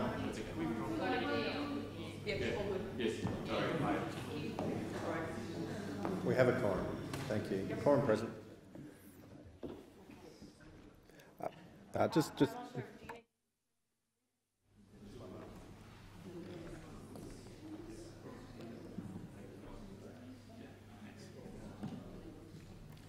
Okay, just to assist the chamber, I'll put the question again. Uh, the, the, question is that the committee authorisation be agreed to. All those of that opinion say aye. aye. Against? The ayes have it. Uh, Leave to move a motion relating to leave of absence for Senator O'Neill. Is leave granted? Leave is granted. I move that the leave of absence be granted to Senator O'Neill for today on account of parliamentary business The question is that the uh, motion be agreed to. All those in opinion say aye. aye. Those against? The ayes have it. And I'll call the clerk. Thank you. Government Business Order of the Day number 3, Anti-Discrimination and Human Rights Legislation Amendment Respect at Work Bill 2022, resumption of second reading debate. Senator Cash. Uh, thank you, and I rise to speak on the Anti-Discrimination and Human Rights Legislation Amendment Respect at Work Bill 2022. Uh, the bill before the chamber will implement further recommendations from the Respect at Work report. Uh, without a doubt, all sides of politics agree sexual harassment in the workplace is unacceptable. No matter who is in government, it is important that we all continue to work together to ensure that we combat sexual harassment in all Australian workplaces. The former coalition government commissioned the inquiry into sexual harassment in the workplace in June 2018. The final Respect at Work report is a very detailed document which made 55 recommendations to the former coalition government. By the time the election was called earlier this year, the former government had implemented or fully funded 42 out of the 55 recommendations of the Respect at Work report and was working on the implementation of the remaining recommendations. The recommendations in the report were directed not just to the Commonwealth Government, but a number were also directed to the various state governments, uh, but also to the private sector. In response to the report, when we were in government, I worked with the Cabinet and released the roadmap for respect, which responded to the report, but it also outlined a long-term plan for preventing and addressing sexual harassment in the workplace. The roadmap included agreeing to, in full, in principle or in part, or noting all 55 recommendations of the Respect at Work report, and in particular it focused on prevention. The former coalition government provided over $64 million over the four years in real money to support the implementation of the roadmap uh, for respect. In September of last year, our government legislated many of the recommendations of the Respect at Work report. This bill did many things. The Sex Discrimination and Fair Work Respect at Work Amendment Act 2021 expressly prohibited sex-based harassment. It made it clearer than it has ever been in Australian law that sex-based harassment is unacceptable. We also corrected gaps in the legislation to make sure that all workers are respected. We made it clear in the Sex Discrimination Act that members of parliament, judges and public servants would all be subject to the Sex Discrimination Act. This means that people are protected from sexual harassment regardless of the field in which they work or for whom they work. The former coalition government also established the Respect at Work Council, which brings together leaders from key government regulators and policymakers responsible for sexual harassment policies and complaints to improve coordination, consistency and clarity, and this is just so important, across existing legal and regulatory frameworks. We also increased the length of time that people have to make a complaint. Uh, the original time frame was six months, but based on the recommendations from the report and certainly listening to the stakeholder feedback, we lengthened that from the six months to 24 months after the incident. We also made incredibly important changes to the Fair Work Act uh, to make it clear that being a perpetrator of sexual harassment is a valid reason for dismissal. This is and continues to be an essential reform because what it actually did was make it possible for employers to dismiss a worker who sexually harassed another worker without the risk of them bringing an unfair dismissal claim in response. Again, based on the feedback, looking at the respect at work, it was essential that employers were given this ability, an ability they they just didn't have to respond swiftly when their employees' behaviour is unacceptable. As a community, it is, it is essential that we draw the line in terms of unacceptable behaviour in workplaces and beyond that has been common for too long. The bill that we have before us today in the Senate chamber is one that now builds on and continues the work that the former coalition government had commenced. It picks up on the particular issues that were given further time to ensure there was that in-depth consideration and consultation. And I'm pleased to say that with the work having progressed, we support the principles behind this bill. There is so much in this bill that we support. I welcome the 12-month period between assent and commencement.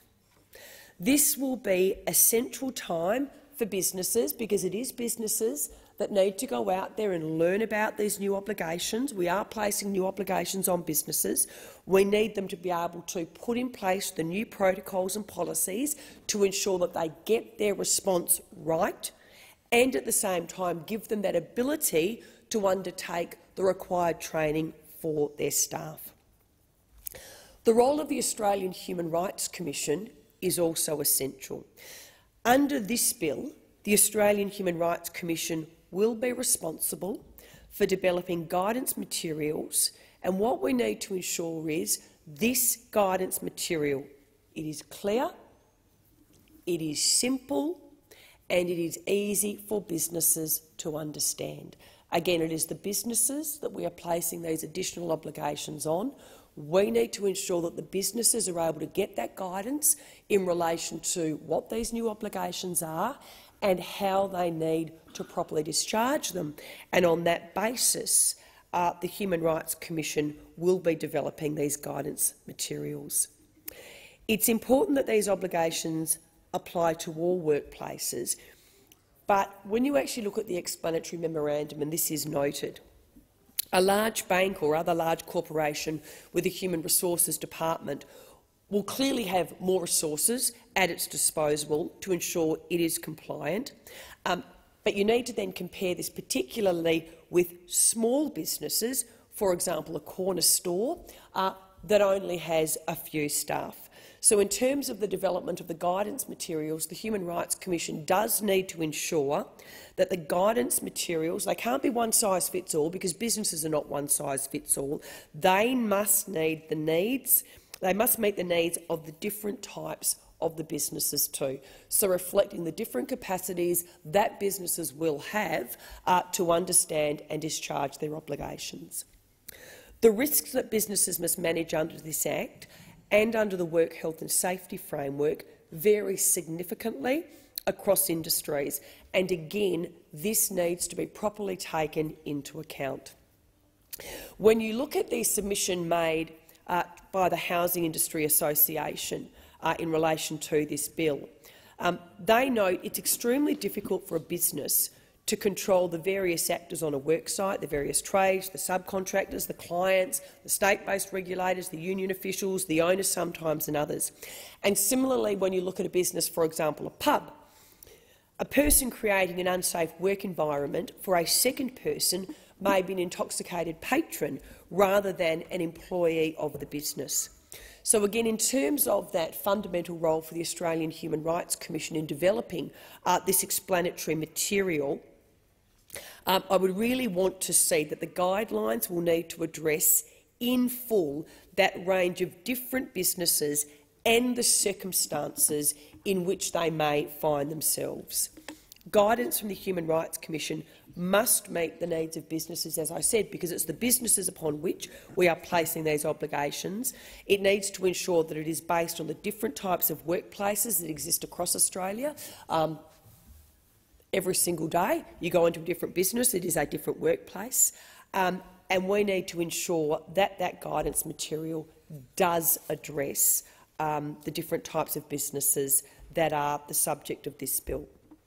Again, though, let me be very clear.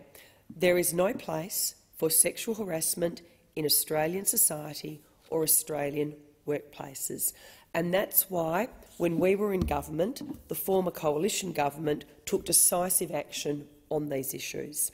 Uh, the bill that we have before us today builds on the leadership of the former coalition government and the work that we did and the legislation that we put in place. Uh, without a doubt, we must continue to work as a society to continually improve and to ensure that everybody has an equal opportunity to succeed and that our workplaces are set up in such a way that someone who works hard, regardless of their background, can reach the highest of heights because we should not and never tolerate sexual harassment in the workplace or anywhere else. And I commend the bill. Senator Waters. Thanks very much, Acting Deputy President. I rise to speak on the Anti-Discrimination and Human Rights Legislation Respect at Work Bill of 2022. The Respect at Work report shone a light on the scale of workplace sexual harassment, something that we've become all too familiar with in this place. In her landmark report, the Sex Discrimination Commissioner, Kate Jenkins, set out comprehensive, practical and a targeted suite of reforms to tackle the problem.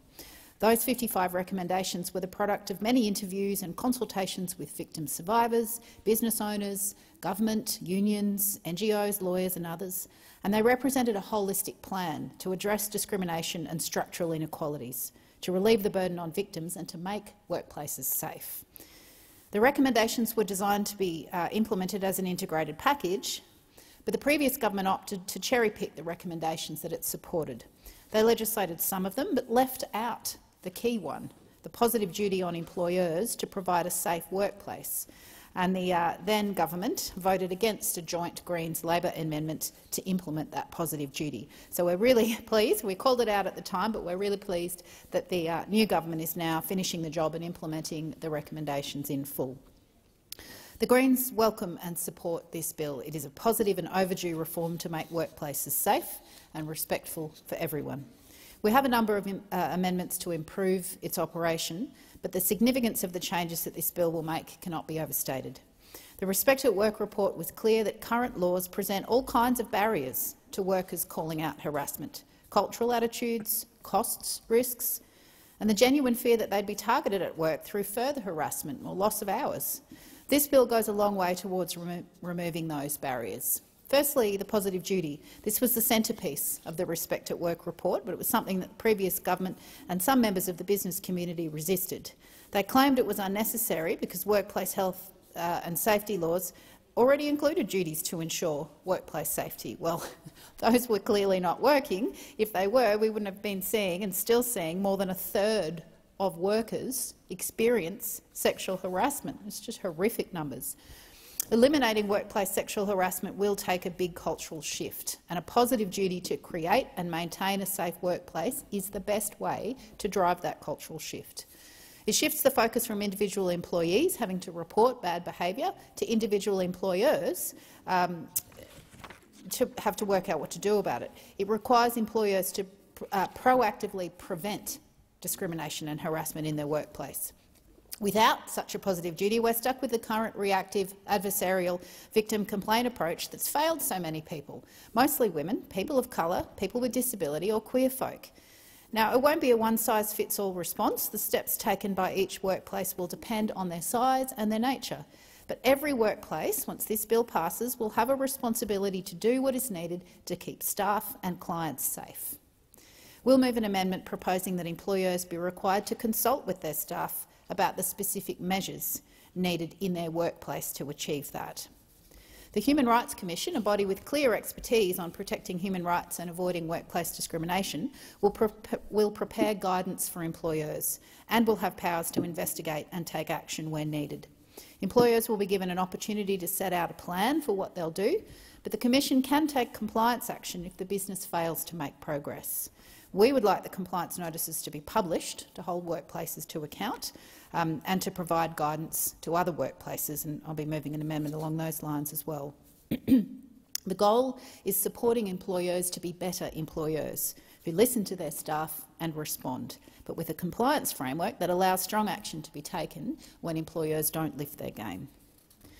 I want to speak now um, on the hostile work environment. Uh, akin to the positive duty provisions, the bill takes workplace-level uh, approach to cultural change, which is good. Sexual harassment is more likely to occur where a workplace environment is sexually charged or hostile, even if the conduct is not directed at a particular person. many examples. Mine sites where women are habitually given menial tasks and where predatory behaviour is ignored hospitality businesses where women are expected to wear skimpy clothing and put up with lecherous customers, lunchrooms where sexist, racist or homophobic jokes are told or laughed at by senior staff or anti-trans posters are displayed. The 2018 National Survey of Sexual Harassment found significantly higher rates of harassment in the fast food and retail industries, particularly for young women. So this bill introduces an offence of creating and maintaining a hostile work environment. It creates a clear obligation on employers and staff to identify cultures, work practices, uniforms and office setups that could create an environment in which harassment is facilitated, condoned or ignored. We strongly support this change. Um, however, we'll be pro proposing an amendment to ensure that the provisions operate as they are, intending, uh, as they are intended to. Uh, the bill makes two significant changes to address systemic harassment and relieve the burden on individual workers to pursue complaints. It gives the Human Rights Commission powers to have a look at systemic problems and practices, and it allows representative bodies to take action on behalf of workers. Now, examining systemic behaviour across a sector or workplace helps to identify the root causes of discrimination affecting many employees, rather than requiring one person to stand up to their boss and run the gauntlet of the legal system and risk their reputation, their mental health, their job, their finances. Many workers want the harassment to, to stop, but they don't want to be named as the victim. They want their workplace to be safe for them and others, but they don't want to have to go through a court process and the emotional and financial toll that it takes.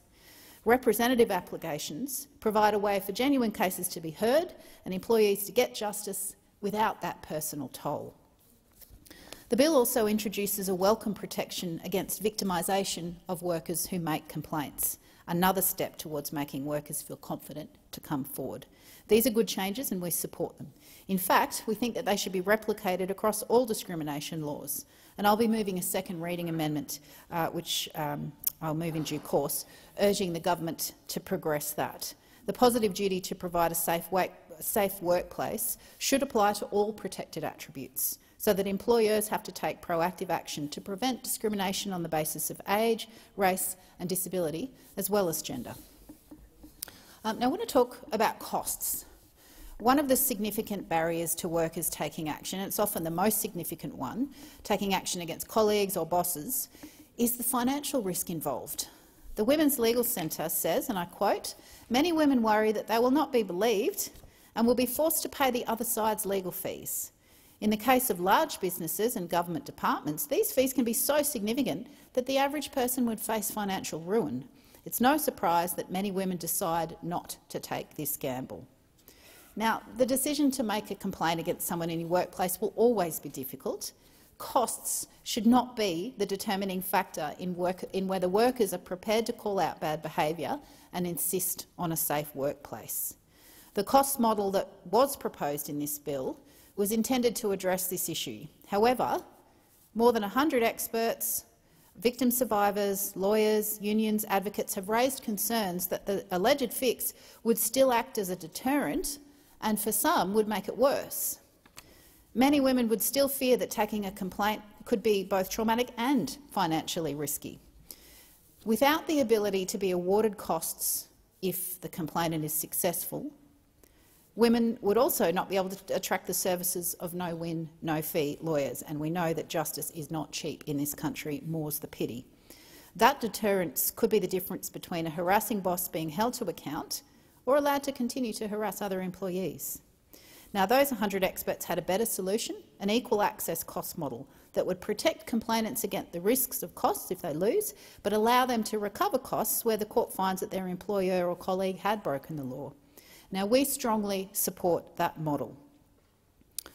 We were going to move an amendment to give effect to that model. Um, but we've heard the government's concerns that having that model just for sexual harassment complaints would put them on a different footing to other discrimination complaints. Now, we would like to see the equal access cost model apply across the board, uh, but we recognise that it's important to get this right. So we're very pleased that the government agreed uh, with the Greens to pause those cost changes, and they won't be moving them, we'll come to those when the government moves their own amendments. And instead, they'll now conduct a full review of cost provisions in consultation with all of those uh, who raised concerns. We will continue to push to make sure that workers can access justice uh, and that can, they can actually enforce these new rights that have been given to them. And we're hopeful and confident that the review will ultimately end up uh, with a more effective and equitable cost model that allows workers to get justice. Uh, now, the bill also extends reporting obligations under the Workplace Gender Equality Act to the Commonwealth public sector. This is a very welcome move. Measuring data and monitoring progress is the key to closing the gender pay gap that sadly still persists across all industries. The Greens have long called for gender pay gap reporting to apply to the public sector, and we will continue to push for robust and transparent reporting across more workplaces and across more measures, including better data on the prevalence and resolution of sexual harassment complaints and the use of non-disclosure agreements to silence victim survivors. Talk briefly now about the review of the bill. This bill is a very significant and welcome change to the way that we'll approach harassment and discrimination in workplaces across Australia. It's a real opportunity to drive cultural change, and we need to know if it works. Given the scale and the importance of the changes, um, and given the diversity of workplace environments and employee experiences, it's important that we review how these changes are working in practice and whether they're achieving the aims of the Respect at Work report. We need to monitor how effectively the provisions of the bill are driving the cultural change that's needed to reduce the shocking levels of harassment in workplaces across the country and assess what additional reforms or support might be needed. So uh, myself, along with Senator uh, Tyrrell and Senator Lambie, will be moving an amendment to require such a review. I'm pleased that the government has indicated support for that amendment. Um, I'd finally like to talk about funding. As I've said, this bill is a critical opportunity to drive cultural change, but that opportunity would be undermined without adequate funding to the Australian Human Rights Commission, who will uh, undertake the extra powers and the duties under this bill. I was pleased to see the budget dedicate additional resources to the Human Rights Commission, but this must be kept under regular review to make sure that it's enough for the Commission to do its job. The proposed statutory review will look at that issue, but I urge the government to heed any calls from the Commission regarding the money it needs. Uh, this bill could also be undermined if workers and employ employers can't access the support and the, the advice about their rights and responsibilities under the bill. We need a well-funded, functioning network of working women's centres to provide practical advice and support to employees experiencing harassment. Independent, expert, community-based, trauma-informed services are essential to the successful implementation of this bill. The Greens are really proud to support this bill, and we think our amendments would make a good bill even better. Workers across Australia, particularly women, deserve to be safe, respected and listened to, and I want to conclude my remarks by commending the work of the Sex Discrimin uh, Discrimination Commissioner, Kate Jenkins, who drafted this uh, very prescient report, which is now finally being legislated in full, and who's also done incredible work looking at uh, parliamentary workplaces. Um, she's finishing up her term soon, and I wanted to place on record a tribute to the quality of her work, which has had multi-partisan support and which indeed will make many women more safe in workplaces across the country. Thank you, Commissioner Jenkins. Uh, Senator Waters, um, would you like to move your amendment? like to thank you very much, Chair. I would like to move my amendment, which is uh, second reading amendment number one seven uh, on sheet number one seven one three, circulated in my name. Thank, thank you. you, Senator Waters. Senator Marielle Smith. Uh, thank you, Acting Deputy President. Once again, I find myself following Senator Waters on a topic in which I think we find uh, much overlap in our, in our views and beliefs. I want to thank you for your contribution and the contribution of others today. I'm also rising to speak to the Anti-Discrimination and Human Rights Legislation Amendment Respect at Work Bill 2022. This bill is a landmark moment having it brought to us today. It marks a significant step in fulfilling our election commitment to implement the recommendations of the Respect at Work report.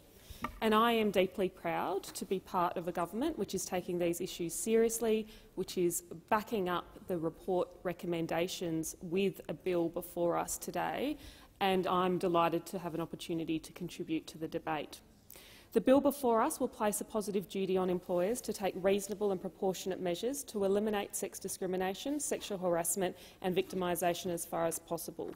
It will expressly prohibit conduct that results in a hostile workplace environment on the basis of gender. It will ensure Commonwealth public sector organisations are also required to report to the Workplace Gender Equality Agency on its gender equality indicators. I note the government has amended the bill in the other place to make it clear that duty holders are required to take reasonable and proportionate measures to eliminate, as far as possible, third parties such as customers from subjecting their employees to sexual and sex-based harassment.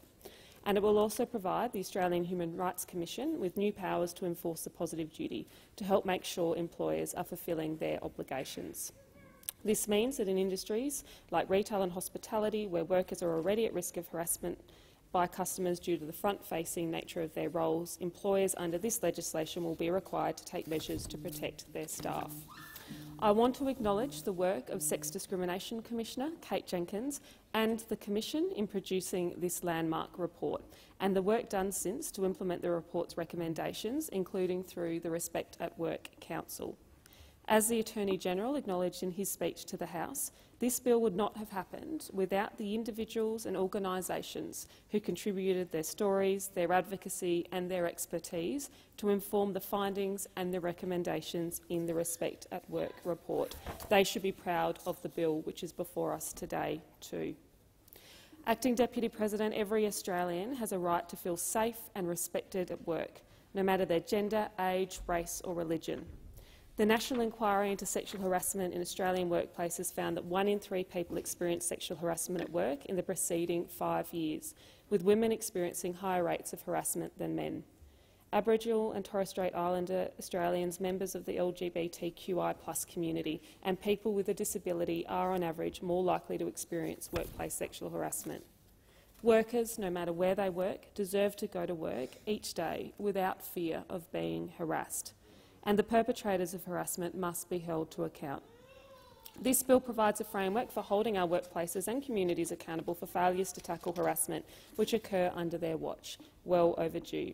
This framework is especially important in industries where workers are at high risk of harassment and abuse, like retail and hospitality. A survey conducted by the Human Rights Commission and the Retail Workers Union, the SDA, in 2019 showed that 42 per cent of all survey respondents had experienced sexual harassment in the previous five years. For women, it was even higher, with 46 per cent of the women who participated in the survey reporting sexual harassment. And for young women, higher again, with 51 per cent of members aged 15 to 17 years having experienced sexual harassment at work. The harassment came from customers, from managers, peers and business owners. There's shocking statistics that speak to a workplace culture that has to change. And I remember being one of those statistics myself as a young retail and then hospitality worker. You never forget it. You never forget the feelings which start with embarrassment and awkwardness, which grow into a sense of discomfort and then fear about heading back into your workplace. The decisions you have to make about whether to seek another job, whether there is another job available, that anxiety which keeps you up at night because you don't want to go back into work tomorrow because you know the harassment you're going to experience and endure. No one should have to endure it. Acting Deputy President, this bill represents a paradigm shift in how public policy and the legislative framework will support those in our community experiencing sexual harassment and discrimination at work. It says loudly and clearly to all workers that they deserve to be safe at work. Change is hard, but it is essential because sexual harassment, just like violence, is not inevitable. It can be prevented. In this bill, we're taking steps to deliver change, and I commend it to the Senate. Uh, thank you, Senator Smith. Senator Scarr.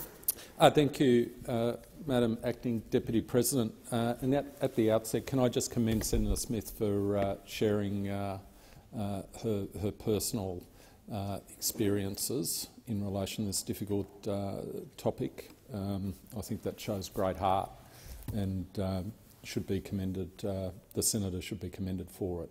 Uh, before I make some comments in relation to the bill, uh, I just wanted to uh, reinforce two points which Senator Waters made. Uh, the first in relation to the issue of costs. This is a very, very complicated area, and I do congratulate the government that they're reflecting further on the matter, uh, because it could well be as well intentioned that the costs provisions as originally proposed in this bill were, they could have led to a worse situation insofar as there was uncertainty for uh, legal professionals who might extend their services on a no-win, no-fee basis, uh, being concerned that there was a lack of certainty as to whether or not costs would flow the event, from the event. So I think these are really, really important matters which need to be carefully reflected upon. Uh, and in, in that connection, I think the other point that needs to be reflected upon is that this bill covers all workplaces, so it covers all businesses, all employers, both multinationals, from the multinational with huge human resource departments and in-house legal staff all the way to the sole trader. Uh, and that's another issue that needs to be reflected upon in relation to the issue of costs. Uh, the second point Senator Waters made, which I would like to uh, commend, was in relation to the resourcing of the Australian Human Rights Commission. Now, this is a big task. This is a big task that this parliament is putting on the Australian Human Rights Commission to take on the enforcement and compliance role with respect to um, the, uh, whether or not employers all over the country are discharging their role with respect to the positive duty. Uh, and I know from my experience working on the Legal and Constitutional Affairs Committee and putting questions to Ms Jenkins and also the President of the Australian Human Rights Commission, uh, the Human Rights Commission has an appreciation of the magnitude of that task, but they will need to have appropriate resourcing in order to discharge those, uh, those important obligations. Uh, I do serve on the Legal and Constitutional Affairs Committee and I did make some additional comments in relation to the bill and I'd just like to touch upon three of those points uh, in relation to these comments. Um, I fully 100 per cent support the imposition of the positive duty on employers. There's absolutely no question about that, and I agree with Ms Jenkins uh, when she explained that it will be a powerful, and I quote, it will be a powerful tool in promoting broad systemic and cultural change around sex discrimination and sexual and sex-based harassment in the workplace, end quote. I did raise concerns with respect to the technical wording of the positive duty, and the main reason for that is there's a disconnect uh, between two parts of the clause. In one part of the clause, there's an imposition of a duty upon employers to take reasonable and proportionate measures to eliminate, and that is a, a fair articulation. There's, a, uh, there's some uh, uh there's some consideration there given to whether or not you're dealing with a small business or a large business and the capacity of the business to put in place measures. So I think that phrase, reasonable and proportionate, is appropriate. But then the clause says to eliminate as far as possible sex discrimination, sexual harassment, victimisation and other relevant unlawful behaviour. And that begs the question, uh, on one hand we're saying reasonable and proportionate measures, on the other hand eliminating as far as possible. And there is somewhat of a disconnect between those two uh, notions, and I note it appears from the explanatory statement that is not the intention of the bill. That is not the intention. The intention appears to be um, to replicate what the principles are in terms of vicarious liability, and I note uh, and under Section 17 of the Work Health and Safety Act, uh, and indeed under uh, amendments proposed to the Fair Work Amendment Bill, where reasonableness of steps taken is the benchmark. So I really do query why we've introduced this, uh, this word, as far, this phrase, as far as possible. There does appear to be a disconnect um, in relation to drafting, and it would be good if that could be resolved.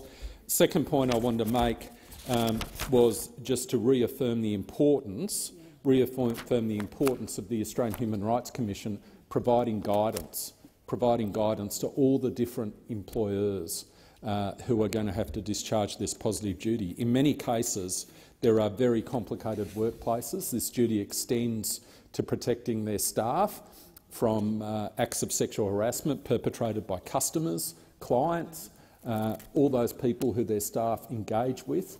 So one can well imagine that the challenges faced by, for example, someone who's managing a, a hotel, a pub, a nightclub, are going to be somewhat different from someone who's, who's, who's managing, a, say, a news agency.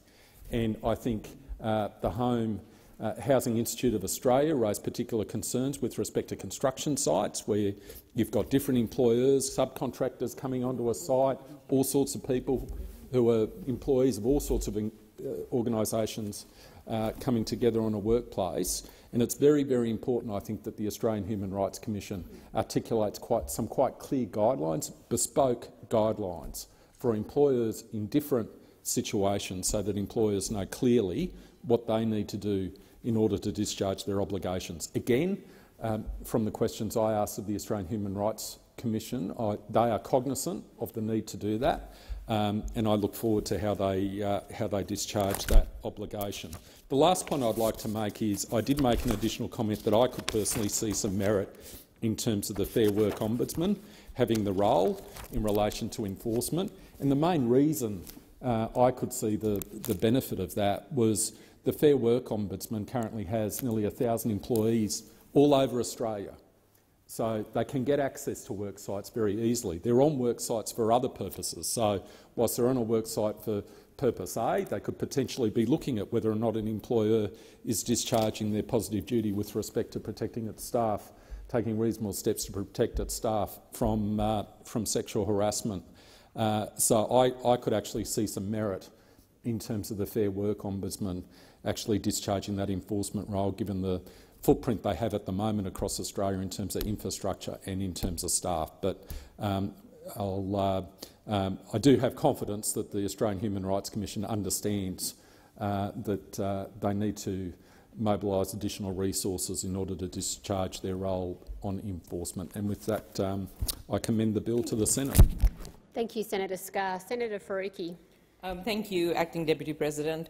I rise to speak to the Anti-Discrimination and Human Rights Legislation Amendment Respect at Work Bill uh, 2022, and I'd like to associate myself with the comments made by my wonderful colleague, Senator Waters. Uh, the bill implements those recommendations of the Respect at Work report, which the previous government chose to ignore, including the introduction of a positive duty on employers to take reasonable and proportionate steps to eliminate sex discrimination in their workplaces and the prohibition of conduct that uh, subjects another person to a workplace environment that is hostile on the ground of sex. The bill also provides the Australian Human Rights Commission with a function to inquire into systemic unlawful discrimination. Imposing a positive duty on employers to prevent sexual harassment, sex discrimination and victimization with accompanying enforcement powers is so important the Respect at Work inquiry found the current system places a heavy burden on individuals to make a formal complaint. The positive duty on the employer to create and maintain a safe workplace would be a step towards achieving a cultural shift and signalling to workers that their employers are invested in actually creating a safer workplace for all of them. As the Human Rights Commission has said, the positive duty would be a powerful tool to promote broad systemic and cultural change that sits outside of the current adversarial framework of discrimination law. So it is really good to see this introduction of positive duty on employers through this bill. However, the bill should do more, as described by my colleague Senator Waters, and as noted in the Greens' additional comments to the Senate inquiry into this bill, a core finding of the Respect at Work report and other work of the Australian Human Rights Commission was that sexual harassment and discrimination are often intersectional with compounding effect. Though specifically targeted at sexual harassment and sex-based discrimination, the bill really does present such a good opportunity to require employers to ensure their workplace is free from discrimination on any grounds, which should have been, and it should, that opportunity should have been taken up by the government. There is no reason the positive duty and hostile work environment provisions should only apply to preventing discrimination on the basis of sex. And I know that Senator Waters will be moving a Greens amendment for similar obligations to extend to protect other attrib um, protected attributes such as race, age and disability. The Greens are supporting the bill, of course, because it represents significant progress for women around the country who have so courageously spoken their truth about the harassment, bullying and abuse that they have been subjected to, and have made it clear in no uncertain terms that they will not rest until this stops. This bill is the product of significant effort, investigation and ana analysis into sexual harassment and other forms of gendered violence at work.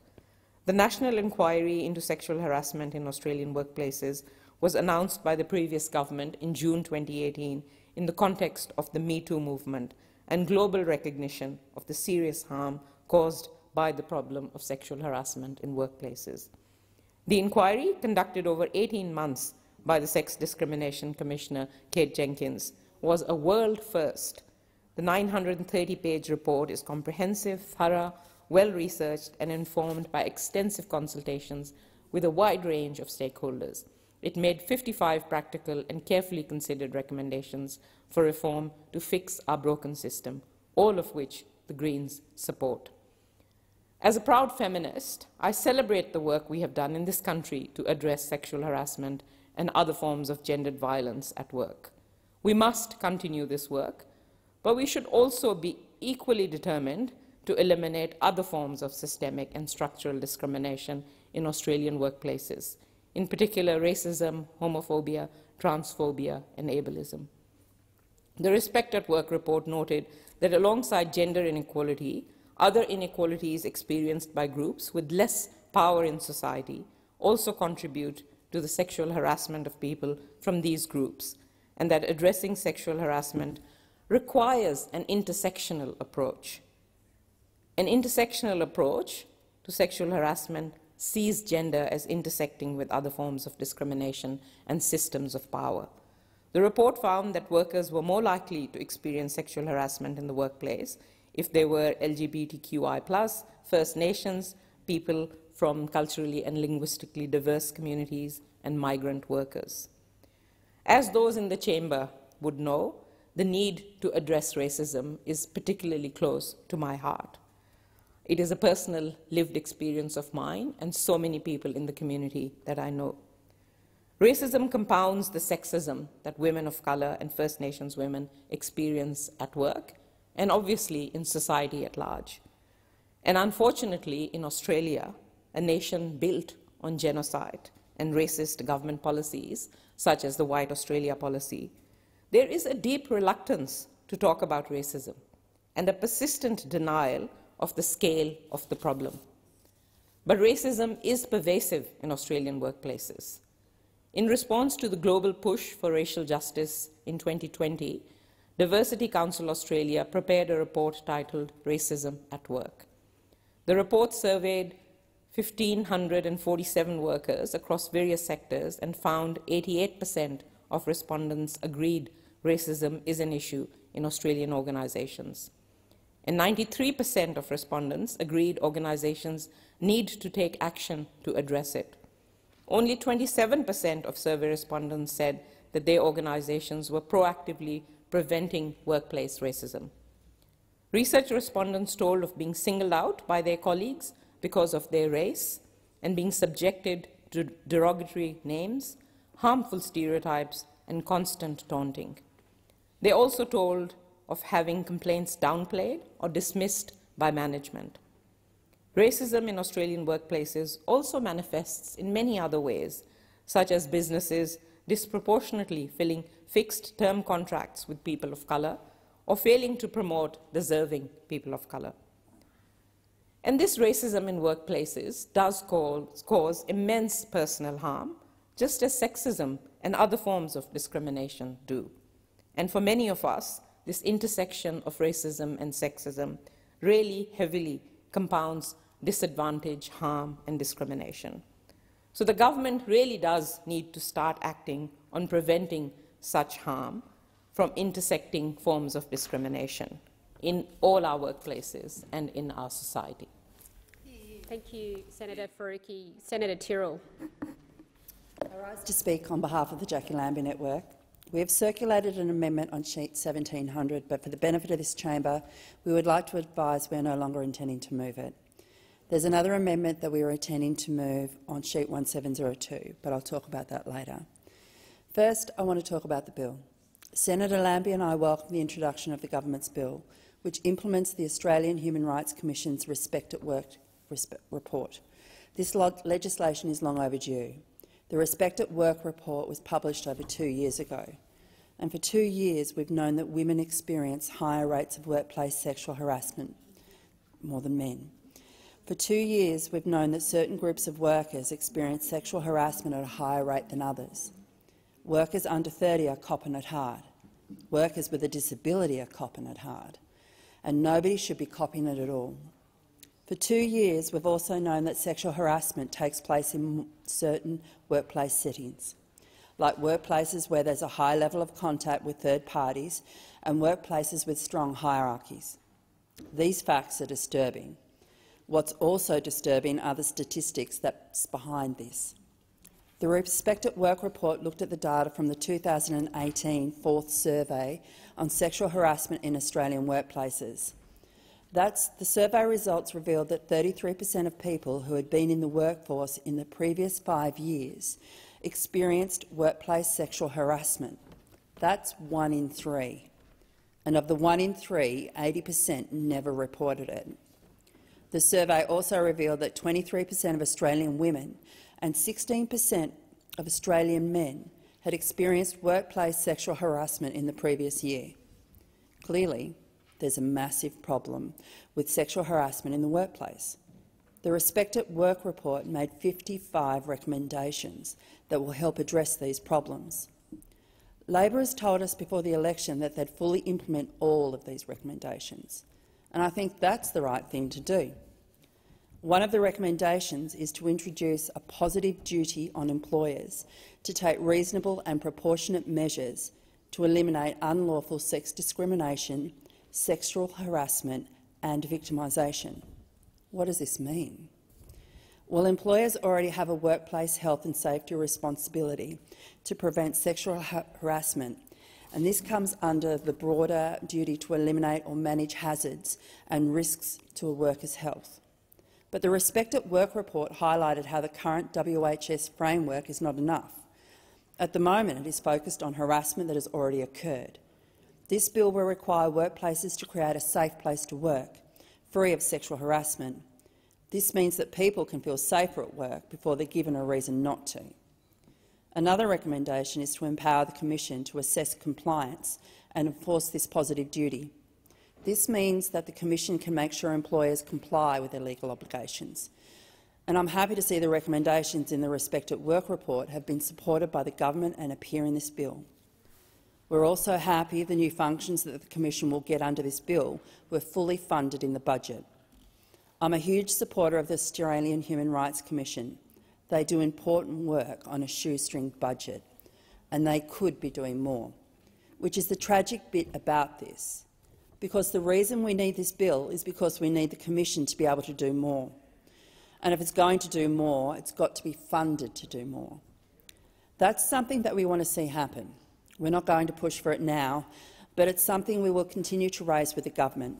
And while we are happy with the bill, it's because we are happy with how it looks on paper. It's one thing to look good on a piece of paper.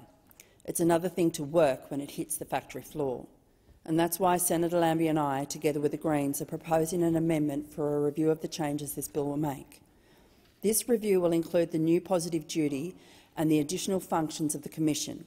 It also includes looking at the capacity of the Commission to undertake its new functions. These powers are new, and we hope we get them right the first time. But as I have said before, we are going to make mistakes. Sometimes groundbreaking changes break more than just ground. We need a statutory review in place to see if this bill actually works like we want it to. We need to know if it's operating as intended. If not, that's fine. I'm happy to make further changes down the track if we need to. What's important is that we get this right. And the only way we will know for sure if the changes we make in this place are right is if we take the time to check in and check under the hood to see how these changes are playing out in the real world. The review we are proposing within our amendment is a flexible one, and I'm happy that this has broad support. The review will be independent. It's set to take place anywhere between two to three years after the commencement of these changes. Usually a review is done no later or no earlier than a certain period, but we're proposing something different here. We've given the government some flexibility so that the review can happen when it's most appropriate. We want to make sure that the Commission will have had the time to do its important work of educating employers on this new positive duty. We also want to make sure that if an employer is not meeting its duty to prevent sexual harassment in the workplace, the Commission has had the time to use its enforcement powers. We want to make sure that the legislation is tested in the courts. This will make two years. Um, this will all may take two years to play out. It may take three, and that's why we've included some flexibility in the review. Basically, we want to make sure this bill is working well for all parties involved, employees, employers and the Commission. So that's our amendment. But there's also the issue around costs. There's been a bit of talk about the cost provision in the bill. We've heard from legal centres who represent victims of sexual harassment that this wording would stop costs being a barrier to pursuing an action. But the government didn't adopt this wording in this bill. The government had proposed a default position where parties bear their own costs. The government's proposed cost provisions were an important change to the status quo, but those costs of bringing an action can still be big. They can be huge if the other party is all lawyered up and happy to drag out proceedings. We weren't alone with being concerned about this. We heard from those same legal centres that they had concerns with proposed cost provisions in the bill. They were concerned this would still be a barrier to justice and that's why we proposed an amendment that adopted the recommendation in the Respect at Work report.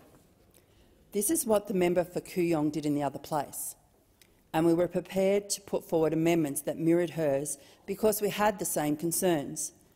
The government has heard these concerns. The Attorney-General and the Minister for Women published a media release about this today. The government has decided to take this part of the, out of the bill They've told us that they're going to consult a little more on this. The Attorney-General's Department will conduct an immediate review, which will be completed by May next year. They want to get this right. We want this too, and that's why we're happy to not proceed with our amendment to the cost provisions. We're happy that the government is taking the time to listen to the concerns of the legal centres and the people they represent. We're happy that they've committed to conducting a departmental review and implementing the recommendations of that review as quickly as possible. We'll see the legislation that gives effect to those recommendations here next year, and I'm looking forward to working together with the government on this issue next year so that we can get it right. So that cost is not a barrier to anyone seeking justice. Your rights aren't conditional on your bank balance. They're yours all the time. We can't accept a world where it's fine to harass somebody so long as they're poor. That's why costs can't be a barrier, and that's what they'll be so long as justice has a price tag. Thank you, Senator Tyrrell. Senator Watt.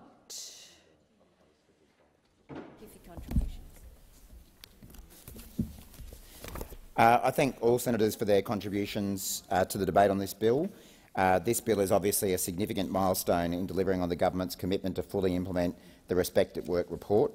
It represents a historic shift in how public policy and the legislative framework supports people who experience sexual harassment and discrimination in the workplace. Uh, I thank all of those who have been involved in the development of this, whether it be uh, Sex Discrimination Commissioner Kate Jenkins, uh, the members of her council, and I particularly thank those survivors who came forward to share their personal experiences which have led to this uh, uh, terrific change. Um, I'm conscious that there's a lot of people been waiting a long time for these changes to be made, so I'll leave it at that in terms of my summing up so that we can get into the committee stage.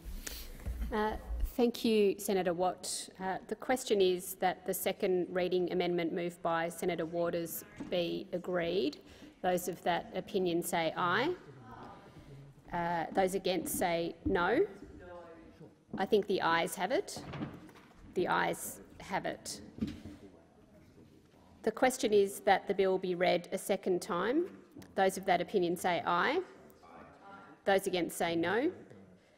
Uh, the ayes have it. I call the clerk. A bill for an act to amend the law relating to discrimination, human rights and gender equality and for other purposes. Uh, as amendments have been circulated, the Senate resolves into committee.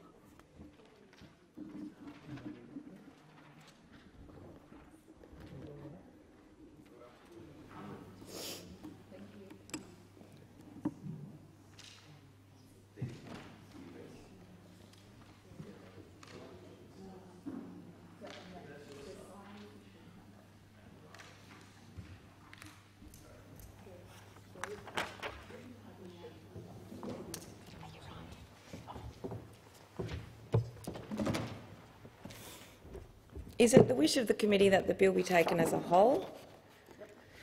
There being no objection, it is so ordered. So the question is that the bill stand as printed. Uh, would anyone like to stand to move their amendments? Minister. Yep. Um, I'd, do I need to take leave? Sorry. No. I move uh, the amendments listed in, I think, my name uh, on sheet 1752 And could I also table a supplementary explanatory memorandum relating to the government amendments to be moved to this bill?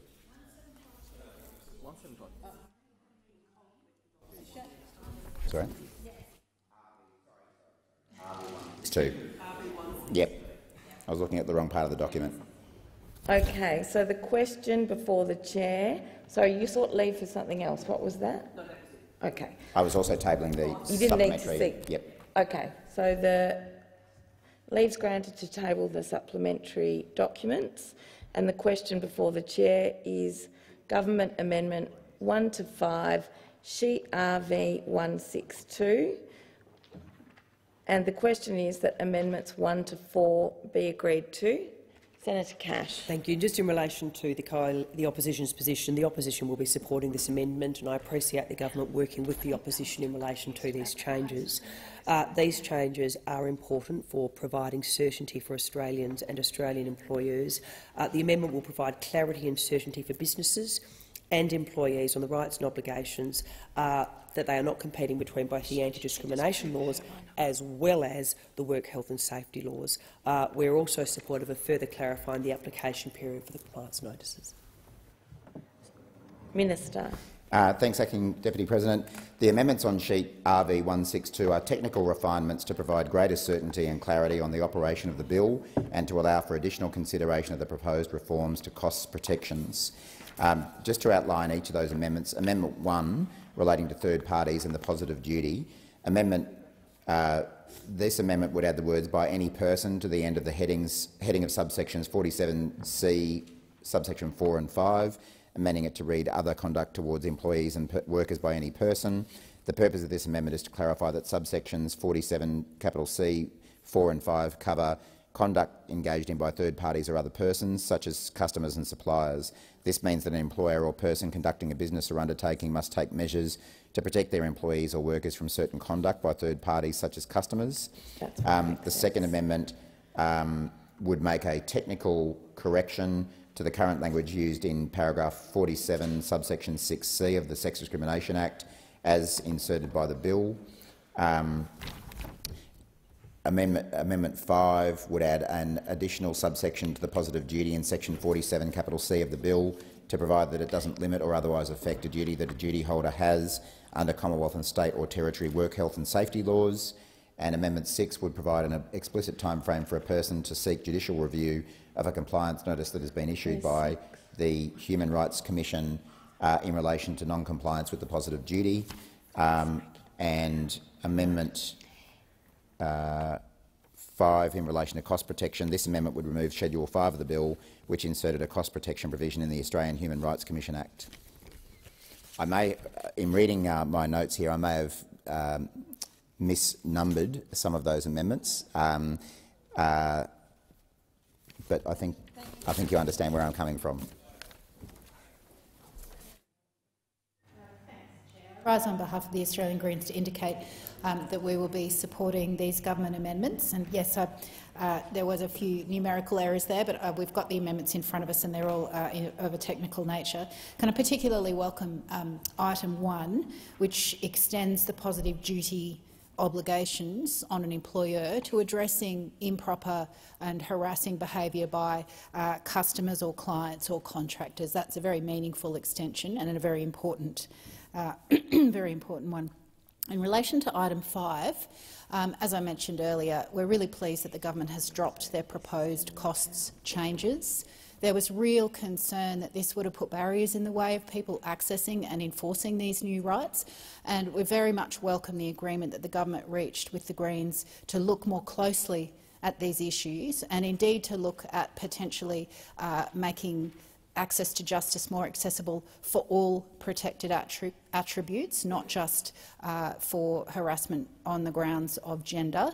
Um, and so that's why um, the joint amendment between the Greens and the Jacqui Lambie, Lambie Network on sheet 1700. That's why we're not moving that one today, because the government has now dropped their cost provisions and have agreed to expedite a review to ideally come to an approach where if a complainant's successful, they can get their costs awarded, but if they're not successful, they don't face that risk of having to pay their employers' legal costs. So that's the ideal scenario that many experts have pushed for. That's what we are hoping will be um, found in the review. But of course, we'll come back to this chamber and ideally legislate those stronger provisions in due course.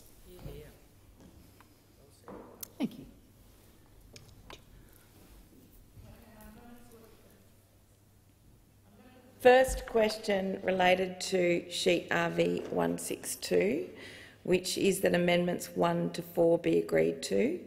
Those of that opinion say aye. aye. Against no. I think the ayes have it. Now we move on to um, Senator Watt. I think you moved uh, both parts of that amendment already, so there is the second part of that question still before the chair. Does anyone want to continue to speak to that? Okay, I can then put the question that Schedule 5 stand as printed. Those of that opinion say aye. aye. No, you say no. The, that Schedule 5 stand as printed. Those of that opinion say aye. Against no. I think the noes have it.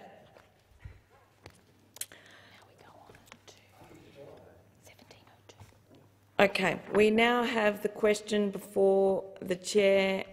Does someone want to move 1702? Senator Tyrrell. Apologies.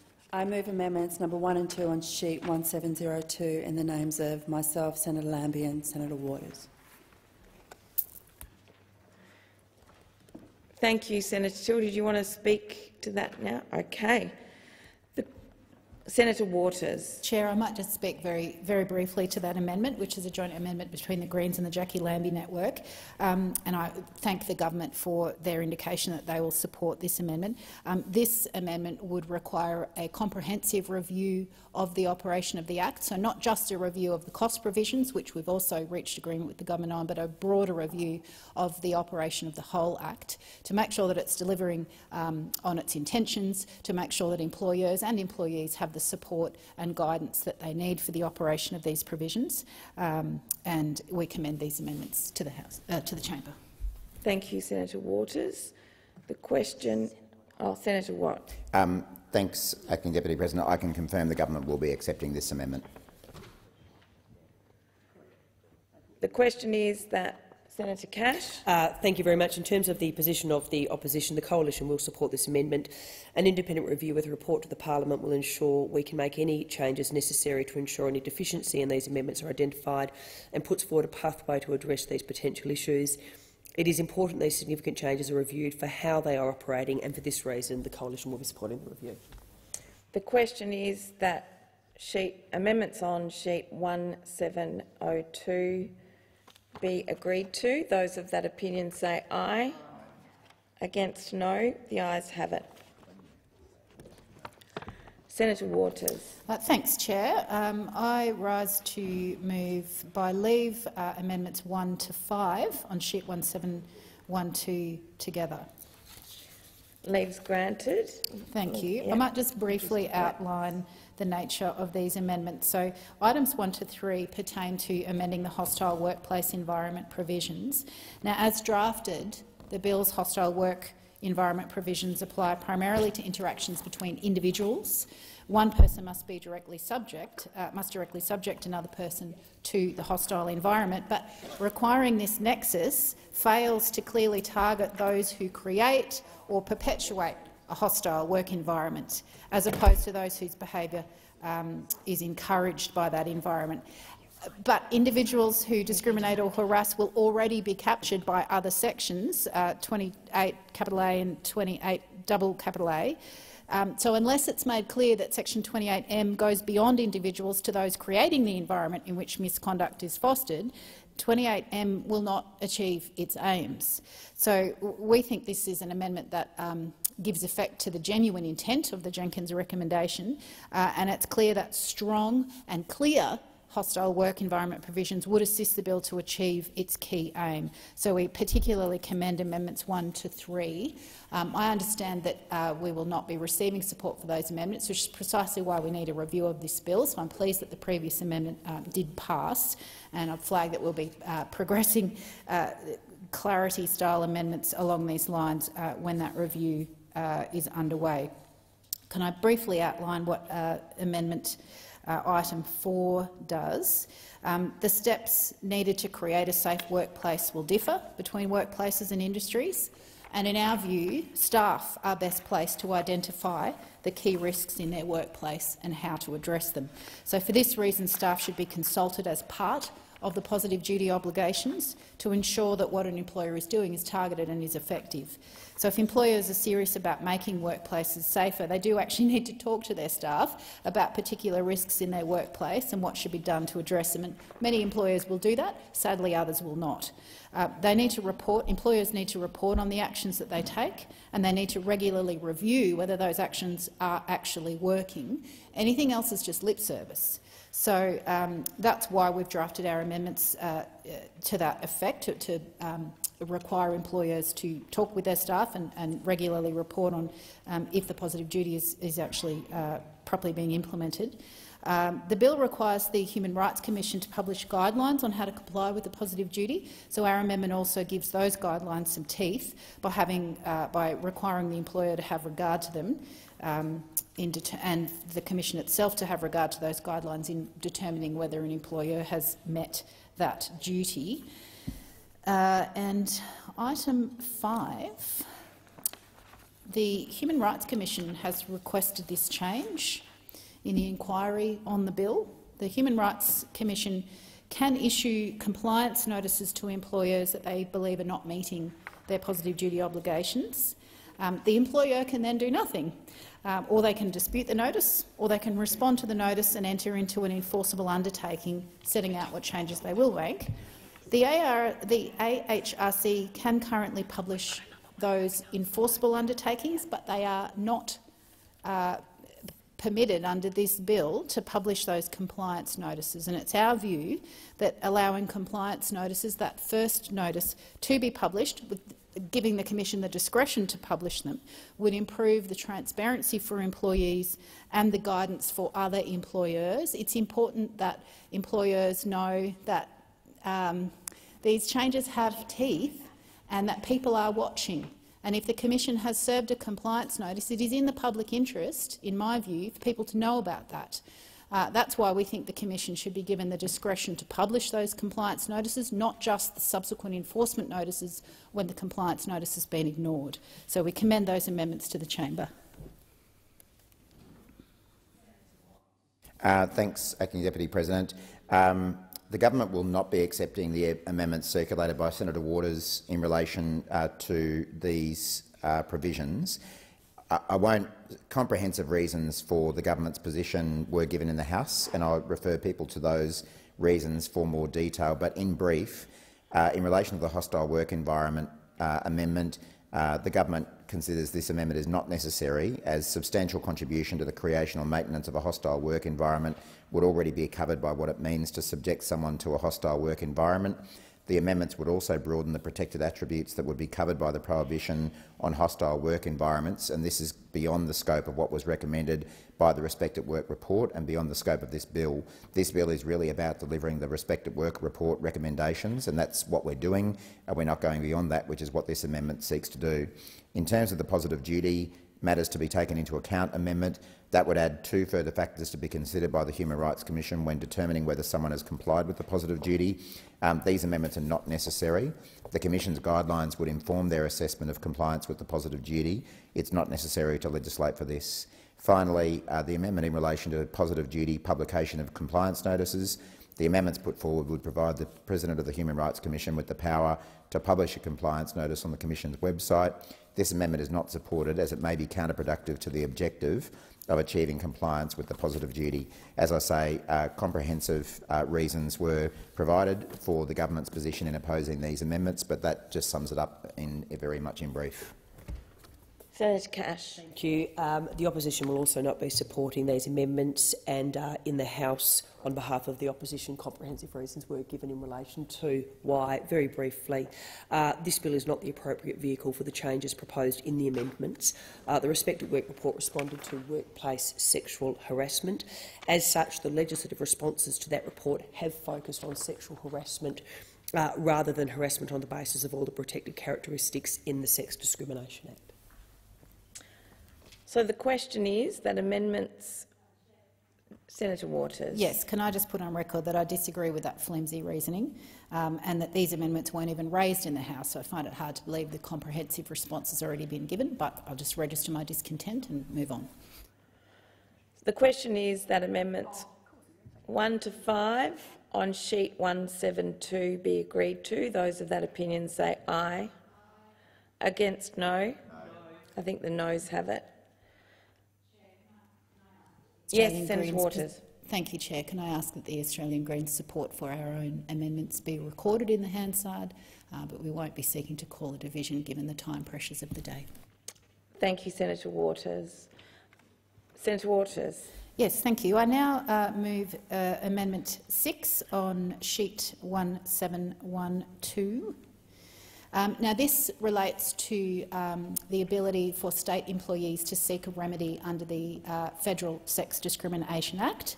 Uh, the welcome repeal of Section 13 of the Sex Discrimination Act um, by the uh, Respect at Work Bill of 2021 removed the restriction that had prevented state government employees accessing remedies under the Commonwealth regime, but the repeal was not made retrospective and this meant that a number of state government employees remained locked out of seeking justice.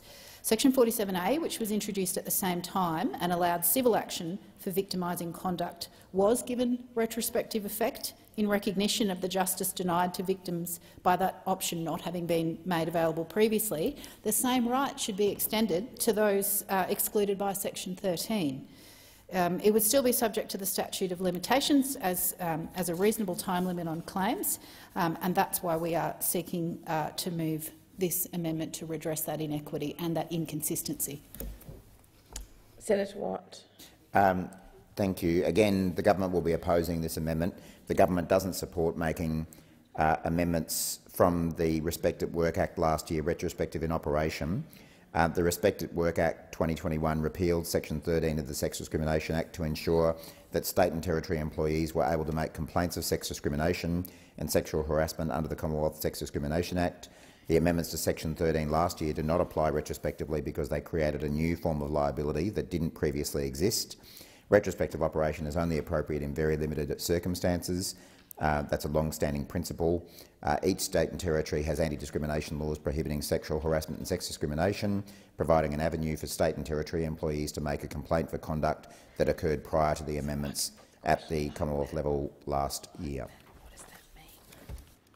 The question is that Amendment 6 on sheet 1712 be agreed to. Those of that opinion say aye. Against no. I think the noes have it. Senator Waters. Chair, again, in the interests uh, of time pressures in the chamber, can I ask, rather than dividing the position of the Australian Greens supporting that amendment, be recorded? Thank you for that courtesy. Senator Cash. Uh, thank you. And I rise to move opposition amendments 1 to 11 on sheet 1752 by leave together. Is leave granted? Leave, leaves granted. Senator Cash. Uh, just very briefly, some comments in relation to the amendments. Uh, proposed section 28M does not include the words in relation to. Uh, this merely brings the text into line with existing obligations. As currently drafted, the proposed prohibition may extend to instances where the complainant has no exposure to the conduct that causes the hostile work environment. In practice, this may mean that an employee could make a complaint under proposed section 28M without ever being in the vicinity of the alleged conduct. We've introduced Amendment 1 to ensure the relevant conduct occurs in relation to the second person. Our proposed section 28M includes the words after the conduct occurs. Given the possibility of large organisations with workplaces distributed across multiple locations, it is important that the person was in the workplace at the time that the conduct occurred. Uh, and we have introduced Amendment 2 to delete the words after the conduct occurs, just in relation to the positive duty. Section 47C would require employers and persons conducting the business undertaking to take measures to eliminate, as far as possible, certain conduct under work health and safety law. The obligation imposed on PCBUs is to ensure the health and safety of their workers as far as is reasonably practicable. We've introduced Amendments 3 and 5 to bring this provision uh, within the well-understood existing position of industrial laws um, or industrial relations law by using the formulation as far as reasonably practicable. Uh, shifting the enforcement inquiries to the uh, Fair Work Ombudsman in order to avoid regulatory overlap and duplications in compliance regimes. Uh, we have proposed to shift the enforcement powers for the positive duty to the Fair Work Ombudsman. We've proposed to shift the inquiry powers to the Fair Work Ombudsman to prevent an employer being investigated by more than one body in relation to the same conduct and to avoid any conflict between the conciliation and inquiry functions of the Australian Human Rights Commission. Just in terms of representative actions, uh, there already exists a mechanism by which representative actions can be brought in the Federal Court of Australia. Um, allowing a party who is not an aggrieved party to have a standing to commence a claim, uh, as this provision does, uh, is a significant departure from Australia's class uh, action laws. Uh, representative groups are not prohibited from providing financial or legal support to parties pursuing a representative proceedings in the court. Rather, they are simply prevented from commencing the proceedings uh, on their behalf. Thank you, Senator Cash. Minister. Thanks, Acting Deputy President. Uh, the amendments moved by the opposition bear no resemblance to the actual recommendations of the Respect at Work report, and so the government will not be supporting them. Senator Waters. Thanks, Chair. Can I indicate that the Australian Greens will be opposing these provisions? Um, particularly items 1 to 2, which would change the hostile work environment provisions to require that the conduct be directed at a complainant. The individual complainant approach defeats the purpose of having provisions creating a workplace and cultural change approach. So it, um, just wrong way, go back. Um, items 3 to 4 would weaken the positive duty by requiring employers to do simply what is reasonably practical rather than what is possible to make the workplace safe. We won't support a weakening of the positive duty. Um, the proposal to give compliance powers to the Fair Work Org rather than um, AHRC would um, fly in the face of Jenkins' recommendations, uh, which identified the AHRC as the best compliance agency given its expertise. Um, again, the item 10 to scrap the representative actions provisions. Representative actions are a key reform in allowing complainants, uh, complaints to be made without exposing individual workers. Um, and lastly, the proposal in item 11 to revert to the previous government's weak version of the objectives clause, which would change uh, which would seek equality of opportunity rather than substantive equality. Well, structural gender inequality is not simply about denial of opportunity. It reflects how discrimination, stereotypes and other factors can affect people's capacity to take up opportunities. So the goal of substantive equality recognises that opportunities need to be offered diff uh, differently in some circumstances in order to overcome structural barriers and achieve substantive equality. So for all those reasons, we won't be supporting any of these amendments. Amendments 1 to 6, 8 to 9 on sheet 1752 be agreed to. Those of that opinion say aye. aye. Against no. I think the noes have it. Division required. Ring the bells. Four minutes.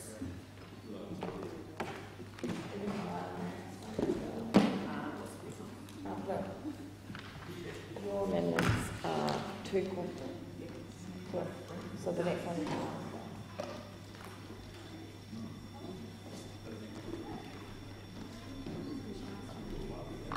Yes, no, we won't. But I'll just stand and have yeah. position.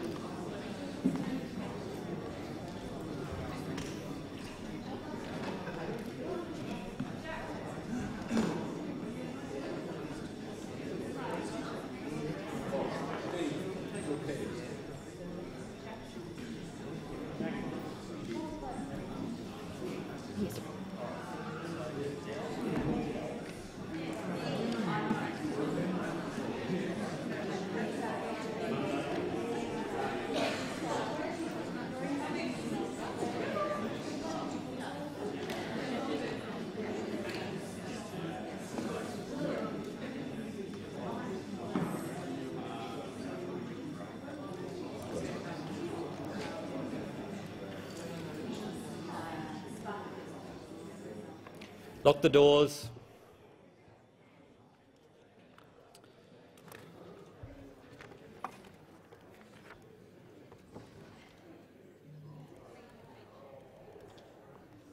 Senator Cash has moved amendments 1 to 11 on sheet 1753.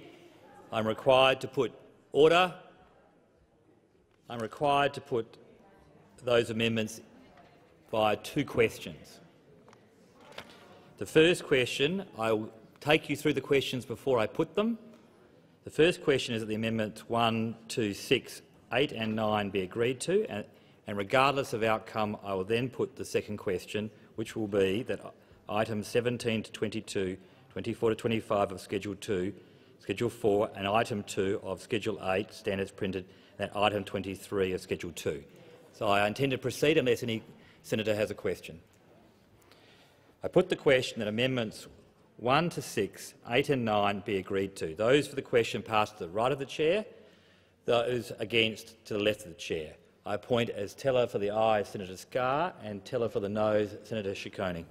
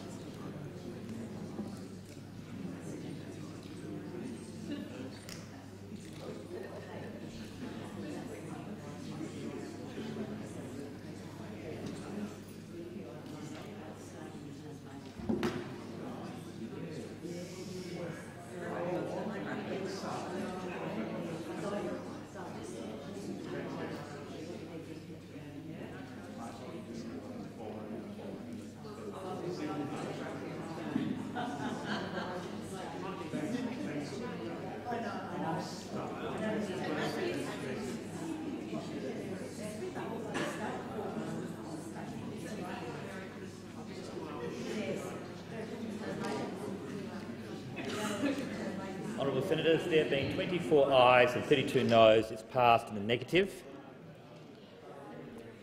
I remind honourable senators that I'm now putting. A, I will be putting the second question.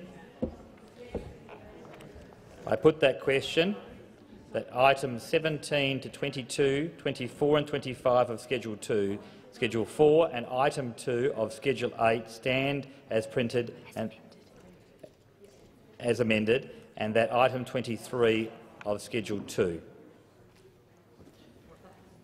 I put the question. Those, um, I put the question. Those for the question say aye. Against no. I think the the ayes have it.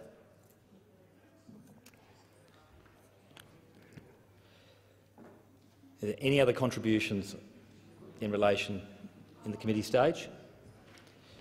I'll now put the question that the bill stand as amended. Those for the question say aye.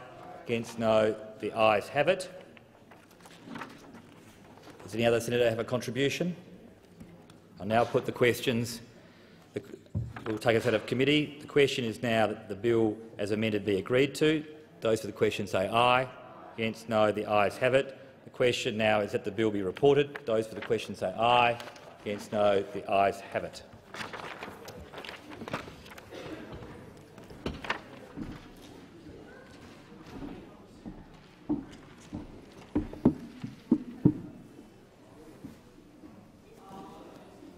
Honourable Senators, the committee has considered the Anti-Discrimination and Human Rights Legislation Amendment, Respect at Work Bill 2022, and agreed to it with amendments.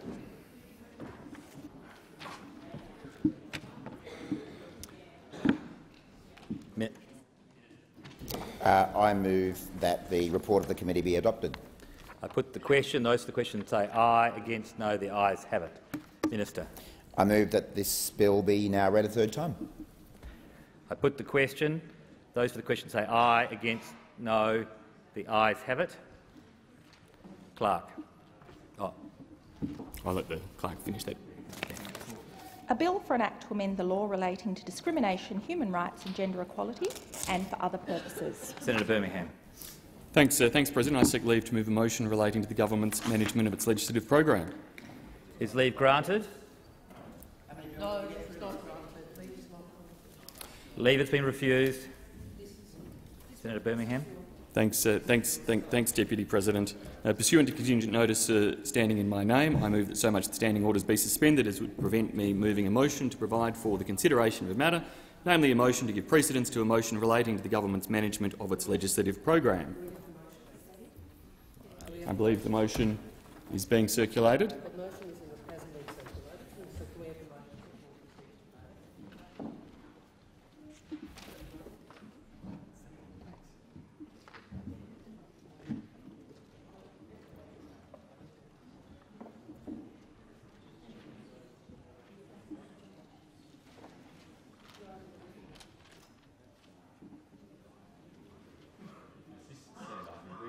Whilst it's being circulated.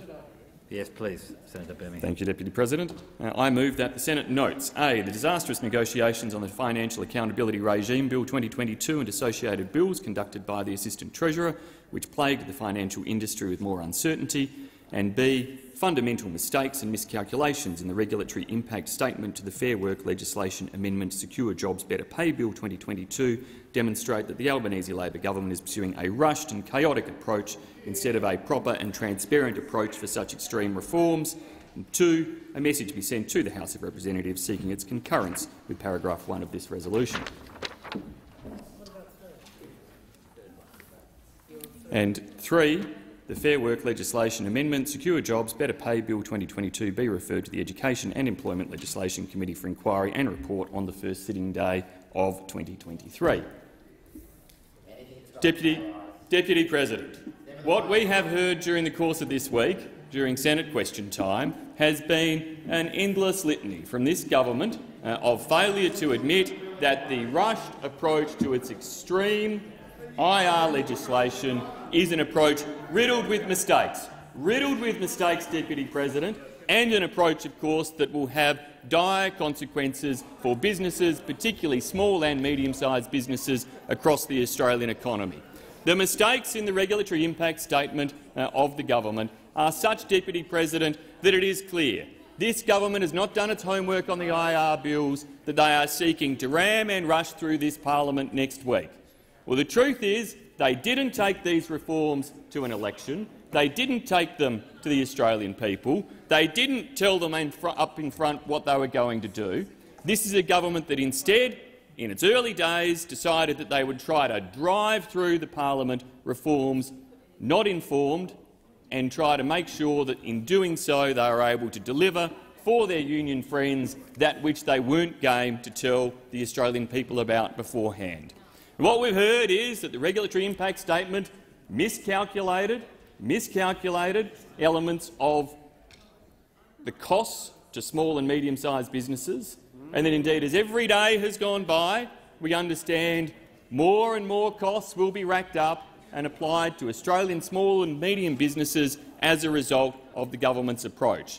That in miscalculating those costs, in miscalculating those costs, it was in part because they were based on a few Google searches, it seems, a few Google searches of some of the most curious and unusual businesses that you could seek to base an economic analysis upon.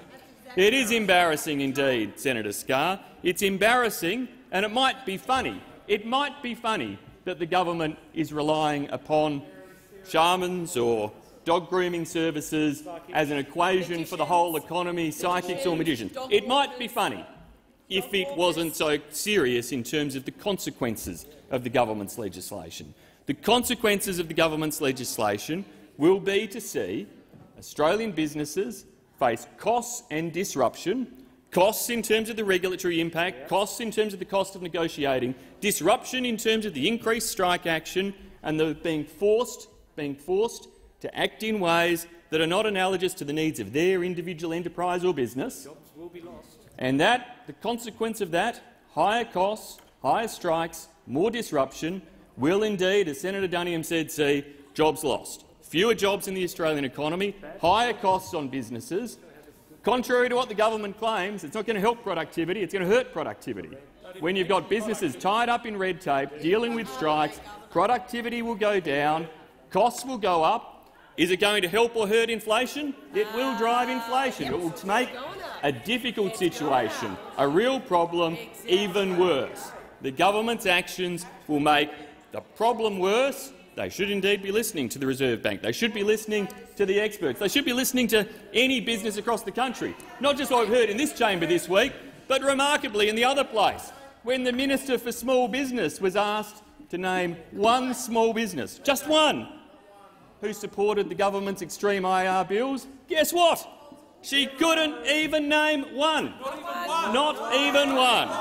And as if the chaos, as if the hapless management of the Industrial Relations Bill by this government isn't bad enough, we've been exposed in recent days to the work of the Assistant Treasurer, to the way in which the Assistant Treasurer is conducting his negotiations on the Financial Accountability Regime Bill, in which he seems to be changing position on that bill on a daily basis, and doing it all through the media. One day there are new fines, the next day those fines are being taken away. Where's the certainty for Australian business? Where's the certainty for Australian investors? What on earth is this government doing? Well, they're making these mistakes because of the undue haste and because they are dancing to the tune of their union masters. That's why these mistakes are happening, why the IR bill is no doubt full of other mistakes that are yet to be exposed because of the rushed approach, and why the Financial Services Bill equally is being changed on a day-to-day -day basis because the government is dancing to the tune of others, trying to twist around to make sure it keeps the unions happy, the industry super funds happy. They're the ones telling them, go harder, go faster on these reforms, but they're not doing their homework, they're not getting it right, and as a consequence, Australians are going to face higher costs, fewer jobs, a weaker economy, and we won't stand for it, Deputy President. Senator Wong, you have the call. Thank you, Deputy President. Well, the week is ending as it started, with the Liberal National Party doing everything they can not to help Australian workers get a pay increase. Not to help Australian workers getting, get a pay increase. It's the, the same strategy, the same strategy with which they started the week uh, with which they started the week. Oh, yeah, you know, would you like to stand up and make a contribution? You know, really? Because we just, we, you know, no amount of slagging off the trade union movement. It's not an invitation. Oh. I'm the one who gives the invitations. Senator Wong, I thought you and- wanted me to talk and, about the uh, secret, Senator dirty, Wong, Senator rotten Wong, deal Senator Wong. that's hurting every employer Senator, Senator Henderson, in this please sit down. Please sit down. This is, a, this is an open-ended debate. No amount of slagging off working people will, will, will remove away, get away from the fact that you stand in the way of wage increases for, for ordinary Australians. Oh, yeah, I know it's a Henderson, dreadful thing, you isn't have it? a point of order, do you? Oh, just on direct relevance, I just wanted to point out the only one that I'm slagging off is this government. No, that's, sit For- down. That's for not a point of order. That's not a point of order. Please be seated, Senator Wong. Uh, tactical genius over there. But look, um, what I would say is this. Yet again, yet again, we see this, this Liberal National Party, the dregs of, of government, doing the only thing they know how to unite on, and that is to stand up against working people. That is the only thing this divided, this divided remnants of a hapless government can actually do together is to stand up stand up against working people, and that is what you have consistently done all week. It's the one thing that unites you. It's the one thing that unites you. You know, we, we, we, love uh, a deliberate design feature of our economy being low wages, and we're going to hold on to it. Oh, we're going to fight really hard to hold on to it. Uh, and that is, what is, that is what has occurred all week, and that is what is occurring now. Because the, the part of the motion that is before the Senate that really demonstrates uh, what the motivation of those opposite uh, is all about is they want to defer debate on, the Fair Work legislation. Secure jobs, better pay, better pay bill. Oh, well, I'll take the interjection from the Leader of the Opposition in the Senate. Uh, he says he just wants more time, he wants more scrutiny. Does anyone believe, anyone believe that those opposite, the party of work choices, will ever change? Will ever change? I mean, I, I was here for the work choices debate, and I see the same fervour in their eyes now. You know, this is the thing that unites them best. How is it that we can gang up, gang up against workers, and how can we bash the trade union movement? That is what unites you, and that is what this motion is all about. Let's remember that the bill that they don't, so desperately don't want to deba debate expressly, expressly prohibits sexual harassment, puts gender equity and job security at the heart of the Fair Work Commission's decision-making, bans pay secrecy clauses. You say you care about, uh, you say you care, Senator Henderson, you say you care about pay equity, Senator but you're Henderson, defending pay secrecy of- clauses. Excuse me, Senator Wong. Oh, Senator look, I, it's a I point did take the point of order on the fact that Senator Wong wasn't referring her comments through the chair, but that she then, when I stood up, added Senator All right, Henderson. thank you. Senator- so just Senator to remind, An hour for this debate, and you're wasting time. Good on you. Very, very Senator Watt, you're not sensitive. assisting. Really, so sensitive. More genius. You know, very happy to dish it out, but doesn't like it when people call it out. Doesn't like it when people call it out, do you? The reality, you- you dish it out across the chamber to the president, but you don't like it when people call you out. You don't, uh, you don't like it when people call you out.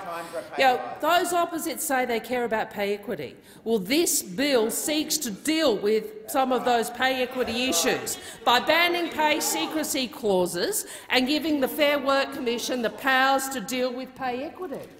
This is the bill they're fighting so hard against. New limits on rolling contracts, another equity provision. I mean, there are all these aspects of the legislation that they do not wish to debate. They do not wish to debate. They want the debate to be about just one thing because they don't actually want to deal with the real issue, which is at its heart this bill is about trying to make Australian workplaces fairer and trying to get wages moving again. That is what this bill is about. And you cannot join with that issue, can you? You cannot join with that issue because fundamentally you don't agree with it. Fundamentally, you don't agree with it. Uh, you don't agree with it. You are committed, no matter how much debate, how much so-called scrutiny, you are ideologically, historically and forever committed to, to opposing this bill. Uh, and you haven't learned— I mean, we all remember in the last election a dollar pay increase and, and the way in which your then government responded. Australians remember that, and what is clear from the way in which you have dealt with this debate on this bill is you haven't learnt the lesson. You haven't learned the lesson. Yeah. Senator McKim. Thank you, Acting Deputy President. Well, the Australian Greens do not support the question before the chair, and I do want to make some comments about the Financial Accountability Regime Bill negotiations. But before I do, I want to be abundantly clear that the Australian Greens certainly do not support uh, the Fair Work Amendment Secure Jobs Better Pay Bill being referred to a committee for an inquiry that is both needless and designed only to delay. And neither, neither do we accept that the management of the chamber this week has been chaotic. In fact, it has been very productive, and we genuinely hope that next week will be the same. Now, on the Financial Accountability Regime Bill, on Tuesday this week at about 6 o'clock, Minister Jones and I met in his office and we made an agreement. That agreement was that the Greens would facilitate the passage this year of the Treasury Laws Amendment Bill number 2, the Treasury Laws Amendment Bill number 3 and the Financial Accountability Regime Bill and its cognate bills. The condition, the condition that on which that was agreed was that the government would support the Greens amendment order, to the Financial order, Accountability Regime Bill 2022 to insert civil penalties for accountable people, including bank executives, for breaches of their accountability obligations. That would have been a great step forward. Yesterday, Minister Jones and I met again in his office, and he informed me that the government was no longer prepared to honour that agreement. Now, we all know, we all know what's happened here. Labor has cracked under pressure from the bank executives, and reneging on the agreement shows very clearly that Labor values the interests of bankers over the interests of customers, of banks. And Minister Jones has learned very clearly what happens when you get in between a bank executive and a bag of money. He's learned that you get absolutely steamrolled, and that's what's happened to him this week. There is absolutely no doubt that Minister Jones and I had an agreement, and any claim that there was no agreement is false.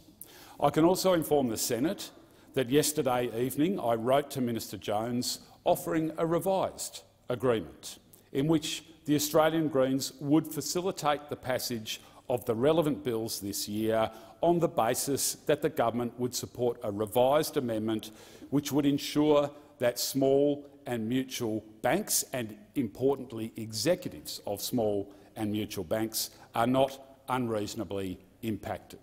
For clarity, this means that executives of small and mutual banks would not be subject to civil penalties for breaches of their accountability obligations. In other words, we would be going squarely after the top end of town, where this kind of reform is so desperately needed to send a clear message to the, to the executives of the big banks in this country that their poor behaviour, their appalling culture, uh, that was uncovered by a once-in-a-generation Royal Commission will not be tolerated any longer.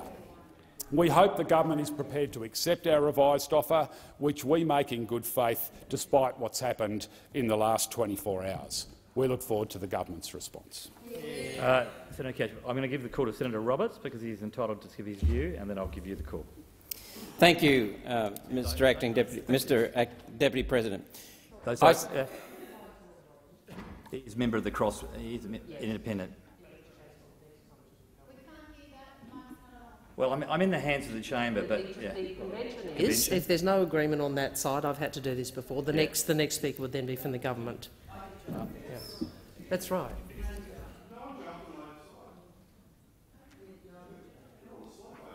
I'm in the hands of chamber. Perhaps do that, and did seek the call. Uh, Thirty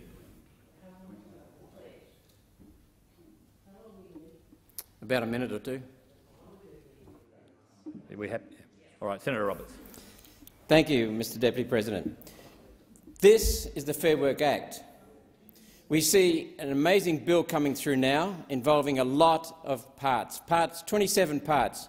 Some require, some are just simply necessary tidying up. We support them.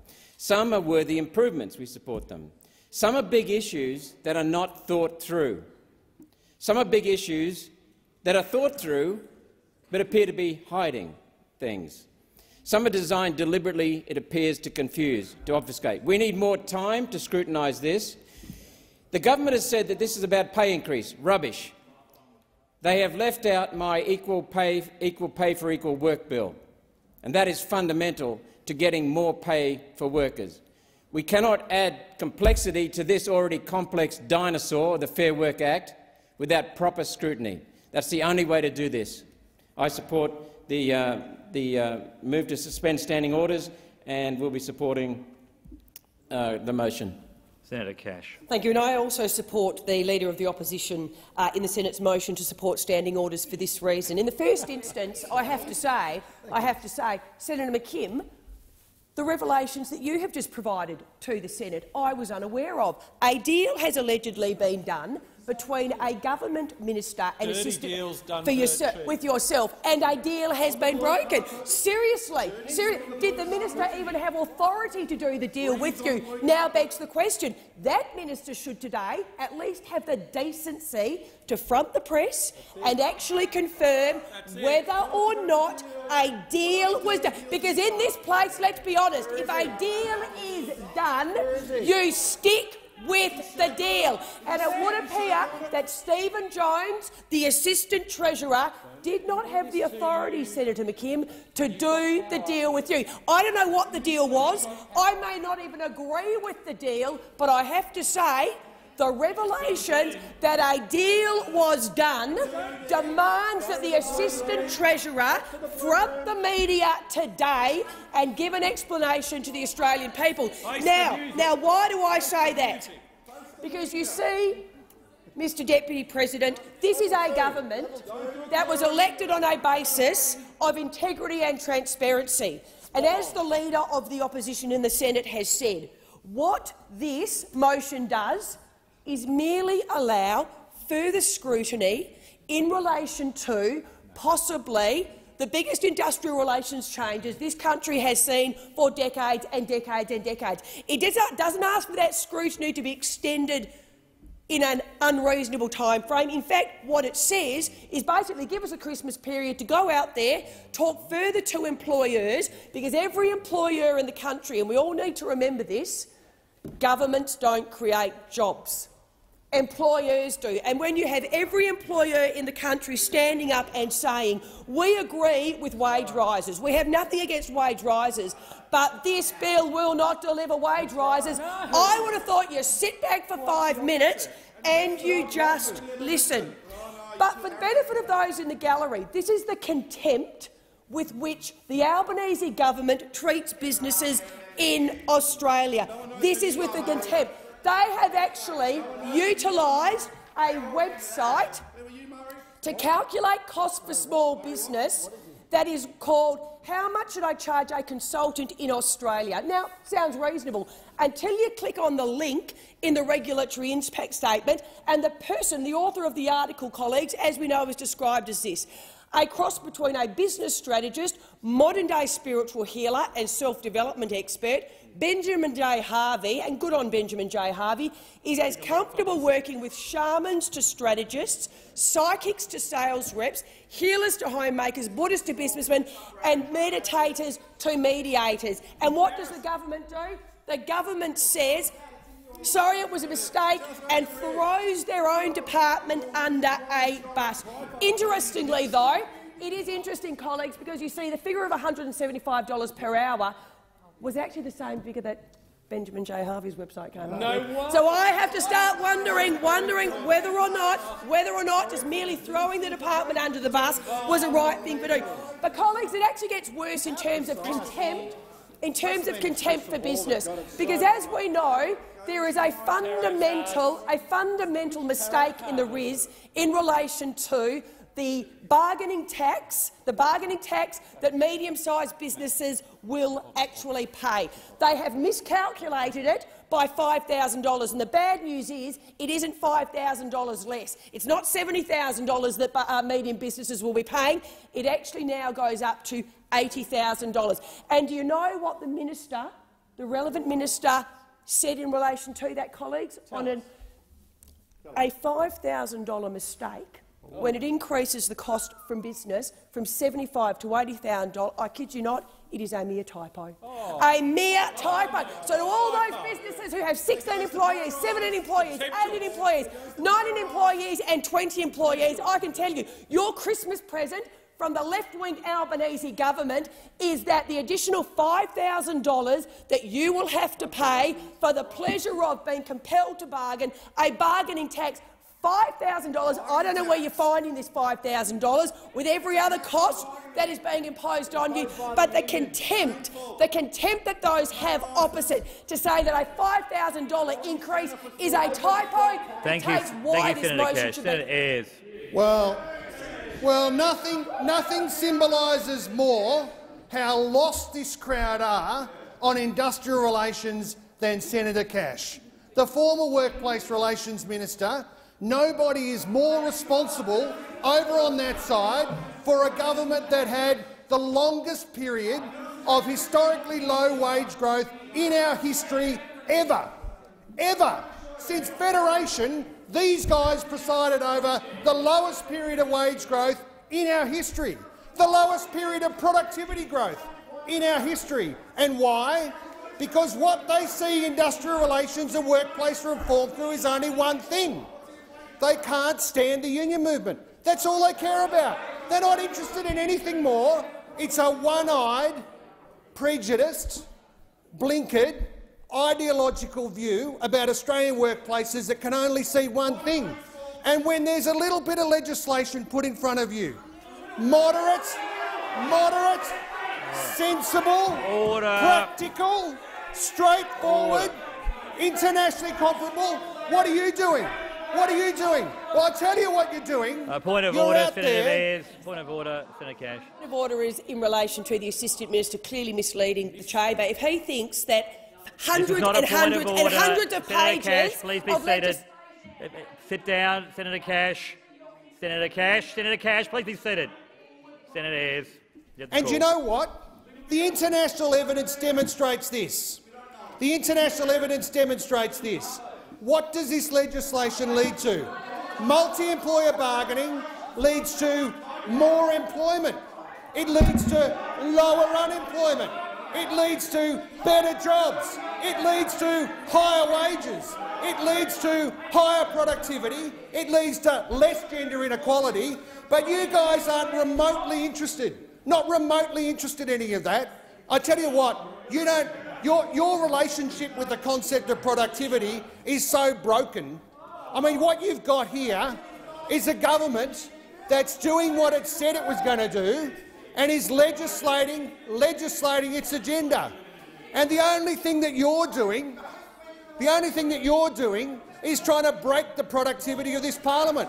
Because what's going on, what's going on doesn't suit your political timetable. That's what this is really about. What you want is months and months and months to run a dishonest, dishonest, partisan political scare campaign and talk about the sort of dishonesties that you and you and you are out there saying in Australian workplaces, trying to frighten, trying to frighten ordinary small business owners out there. Now, these propositions, these propositions are very straightforward, very simple to understand. And I'll give you an example of how simple to understand they are. There's this outfit, this outfit called the OECD. You, you lot might have heard of it. You might have heard of it. It's run by a fella who used to loaf around over here, Order who used to left. loaf around over here trying to keep Australian wages down. That's what former Senator Cormann did, tried to keep Australian wages down. But the outfit that he leads, with one of the most respected economic analysis outfits in the world, makes the proposition very simple. They say multi-employer bargaining is a cornerstone industrial relations institution in 18 out of 26 OECD countries. 18 out of 26 OECD countries. And it is a cornerstone not just of their industrial relations system, but it's also a cornerstone Order, of their macroeconomic order. system. I mean, honestly. Come on, you, you have a go. But, I mean, honestly, it's a cornerstone of their economic systems. It's a cornerstone of their productivity systems. And what it leads to is higher employment, lower unemployment, more jobs, good jobs, more cooperation in workplaces over issues like skills. It leads to higher productivity. It leads to lower gender inequality. Now, which bit, which bit of that don't you lot want to have? Which bit of that don't you lot want to have? The fact is the modern Liberal Party has lost their way on productivity. You've lost your way on the issues that matter for Australian businesses and Australian workers, and nothing represents that more than the miserable stunt that you lot have engaged in today. Uh, Senator McGrath, then I'll come to Senator Shorten. What we find, find out today is that federal Labor are bringing in a payroll tax at a federal level on small businesses. What they're doing is they're going to charge small businesses Point- tens point of of order. thousands of dollars. As, as I understand it, time's expired for this debate. I've got, a, I've got about, a, about two minutes. Sorry, Senator. Senator. Can I have some order? Order. Can you sit down, Senator McGrath? You are really pushing, pu- pushing the boundaries here. No, it is unacceptable behaviour, and I'm about to address it. Senator McGrath, that was completely out of order.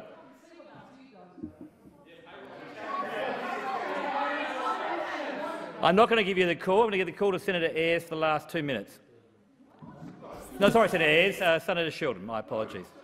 Good, I thank set you. down because of your behaviour. And this is and this is a this is the Right. thing. They don't want to hear from small business because if they actually had read the report into this bill, they would have seen that small business, both H, HVAC, small business operators said they want multi-employer bargaining because they want productivity increased. They want there to be a better opportunity to build wages, to turn around and share the opportunity for productivity. That is the sort of answer that we want to build this country. Wages go up, productivity goes up. These are opportunities that make a change for everybody. It means wages improve, productivity improves. But what have they constantly been about? You haven't even look at Mr. Senator Birmingham. He turns around and supported on insiders that we should have a decrease in wages because, as far as he's concerned, he wants the same system applying. That's what they're about. They want wages suppressed. But then look at Angus Taylor yesterday on the ABC. He's declaring individual contracts is the best way to go. They want to go back to work choices. But the difference is they've allowed work choices to apply right Thank now. you, Senator because they've done Sheldon. Thank you, Senator. Sheldon. I'm putting the question. Those for the question say aye. Against no. I think the noes have it. A division required. Ring the bells.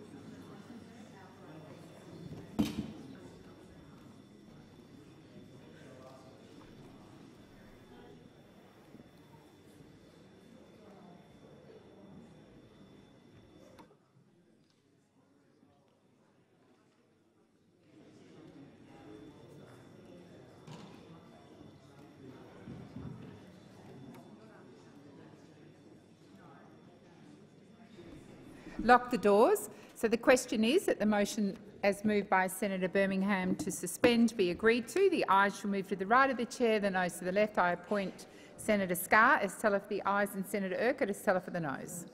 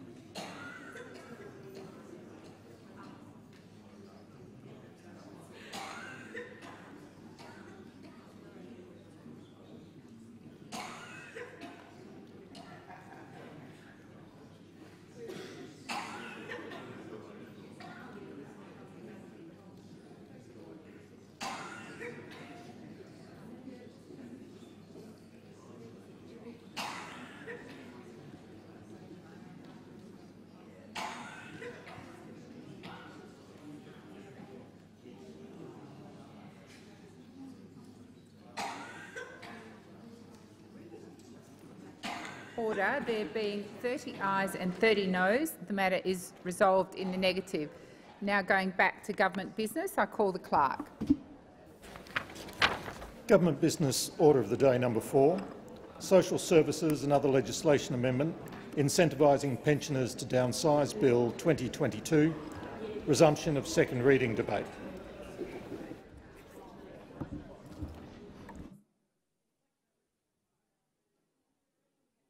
Just allow senators to leave the chamber, those who aren't engaged in any debates. And I shall give the call to Senator Duniam. Uh, thank you, Acting Deputy President. And uh, to take the tone down a few notches, uh, I rise to provide a contribution on the social services and other legislation amendment incentivising pensioners downsize Bill 2022. And I'd like to, at the outset, indicate the Coalition's support for this piece of legislation. Uh, the bill amends the Social Security Act 1991 and the Veterans Entitlements Act 1986 to support pensioners or other eligible income Senator support Duniam, recipients. so- I'm Yes. sorry, Senator Duniam. Senators at the back of the chamber, I can just about hear word for word your conversations, and Senator Duniam is trying to make a contribution. Thank you. Senator Duniam. Thank you, Acting Deputy President. It's um, obviously hard to regain composure as a collective, and we shall do that now. So I'm going to put on the serious and sensitive now, uh, but this bill which we support, uh, and I'm almost at the end of my contribution here now, um, I'm coming quite near to the end of my analysis of this legislation, and uh, which is amazing. Um, during, so it supports pensioners or other eligible income support recipients during the sale, purchase and purchase of a new home by one, extending the existing assets test exemption for principal home sale proceeds which a person intends to use to purchase a new principal home from 12 to 24 months, and secondly, applying only the lower below threshold deeming rate to these asset test exempt, exempt principal home sale proceeds when calculating deemed income. Two important elements, and for that reason the Coalition supports the bill. Thank you, Senator Duniam. Senator Brockman, no? Off the list? Okay. Oh, Se Senator Rice. Seeing I was second on the list initially, um, look, I also rise to, support, to, speak in support of the Social Services Other Legislation Amendment incentivising pensioners to downsize Bill 2022. We will be supporting this bill, but it is another very, very, very small step forward in terms of the social services and social security agenda. It's another election commitment from the Labor Party. It's another election commitment that was effectively bipartisan between the Labor and the Libs. Um, with the Labor Party competing with the Liberal Party to do just enough tweaking of our social services legislation to make sure that the Liberals can't run another scare campaign to say that the Labor Party are abandoning older, older Australians. But meanwhile, the system is broken.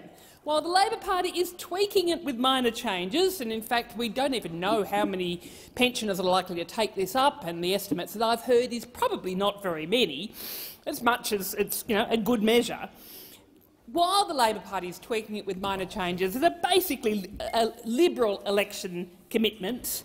People are relying on income support payments that are below the poverty line. People are going hungry, people are homeless, people can't afford to pay the rent, people can't afford to, have, to pay their medical bills, to seek the medical treatment that they need. People are turning off the lights and the heating because they are afraid of the bills. These are the big issues, the big changes to our social security system that uh, should be addressing. And across the country, there are people, whether they are people on job seeker, youth allowance, student allowance, the disability support pension and age pensioners who are relying on income support who had hoped, they had dearly hoped, that a change in government would mean a change in policy. They had hoped that it would mean a change for their lives. It's almost the end of the year. This government has now been in government for six months, and across the country, what I'm hearing, what I, a lot of us are hearing is disappointment. So let me say clearly to the Labor Party, we want to work with you on this. We want to see a government bill before this parliament that raises the rate of income support and actually makes the genuine changes to our social security system that is needed genuine change that will benefit people who are the most marginalised, who are the poorest people in the country, the people who are starving, the people who are being diagnosed with malnutrition and with scurvy. But we want to work with you, but we are not going to sit quietly and just tick off on minor tweaks and let you ignore the millions of people who are condemned to live in poverty by the political choices that you are making because that is the simple reality. Poverty is a political choice. The government, while it's tweaking incentivising pensioners to downsize, has made a choice to not reverse the stage three tax cuts, which are going to cost the budget $250 billion over the next 10 years.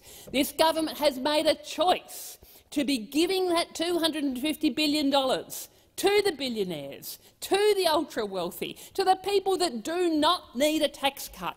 And meanwhile, people are being quagmired in poverty. They've chosen to keep those tax cuts instead of raising the rate of job seeker.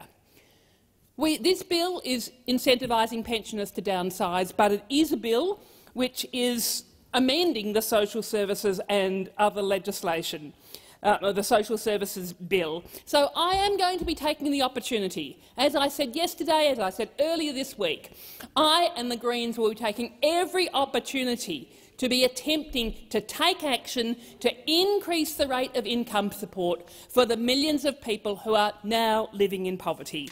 So I do have a second reading motion on sheet 1682 that I foreshadow I will be moving, calling on the Senate to lift the rate of income support payments above the poverty line. And I call on every senator who cares about their fellow Australians, who cares that there are people who are homeless, who can't pay the rent, who can't put food on the table, who can't pay their medical bills, who care about them. I call upon every senator in this place to please support this amendment. Uh, Minister. Well, uh, Acting uh, Deputy President, I'm um, you know, soothed by the mellifluous tones of Senator Duniam's uh, uh, reassuring uh, assertion of the opposition's support for this bill. I intend to make a much shorter contribution. It wasn't even disturbed by, by, by if you listen carefully to Senator Rice's contribution, we can look forward to a Greens Party amendment Uh, uh, later on, uh, but, uh, but confident of the support of the Senate for this important piece of legislation. I'll take my seat. Thank you, Minister. Now, the question before the Senate is that the second reading amendment moved by Senator Rice be agreed to. Those of that opinion say aye. aye. Those against say no. Oh, I think the noes have it. Ayes have it. Division required. Ring the bells.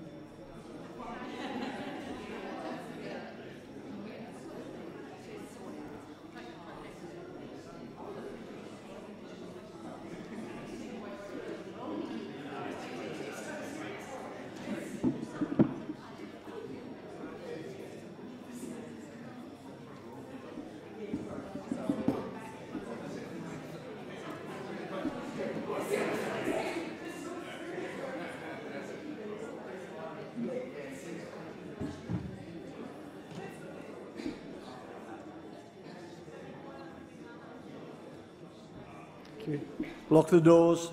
Lock the doors.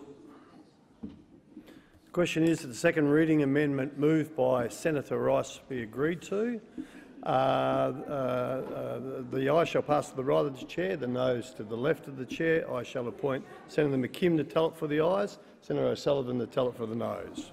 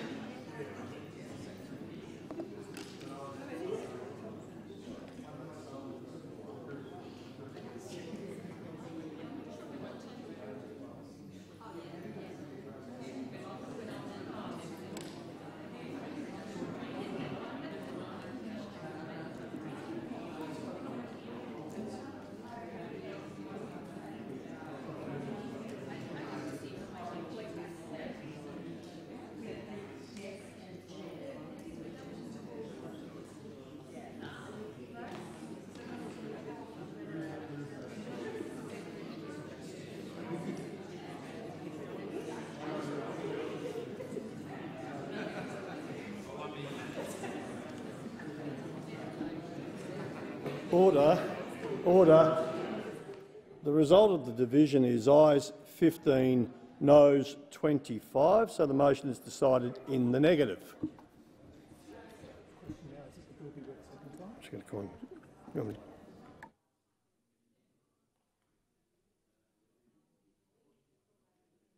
All right, the question now is that the bill be read a third time.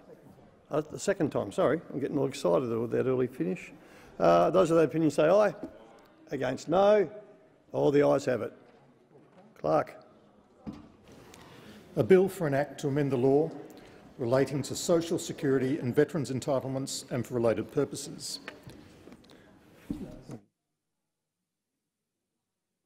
Yes, does anyone require a committee stage? Otherwise I shall call the minister for the third reading. Nobody? Minister. Thank you. I move that the bill be read a third time. Question is the bill now be read a third time. Those of that opinion say aye. Against no. The ayes have it. Clerk. A bill for an act to amend the law relating to social security and veterans' entitlements and for related purposes. Minister. I move that the Senate do now adjourn. The question is the Senate now adjourn. Those of the opinion say aye. No. Against. Hey. Just, just, just before we go, colleagues, hang on. The Senate now stands adjourned, and we'll meet again on Monday, the 28th of November at 10 a.m. Thank you.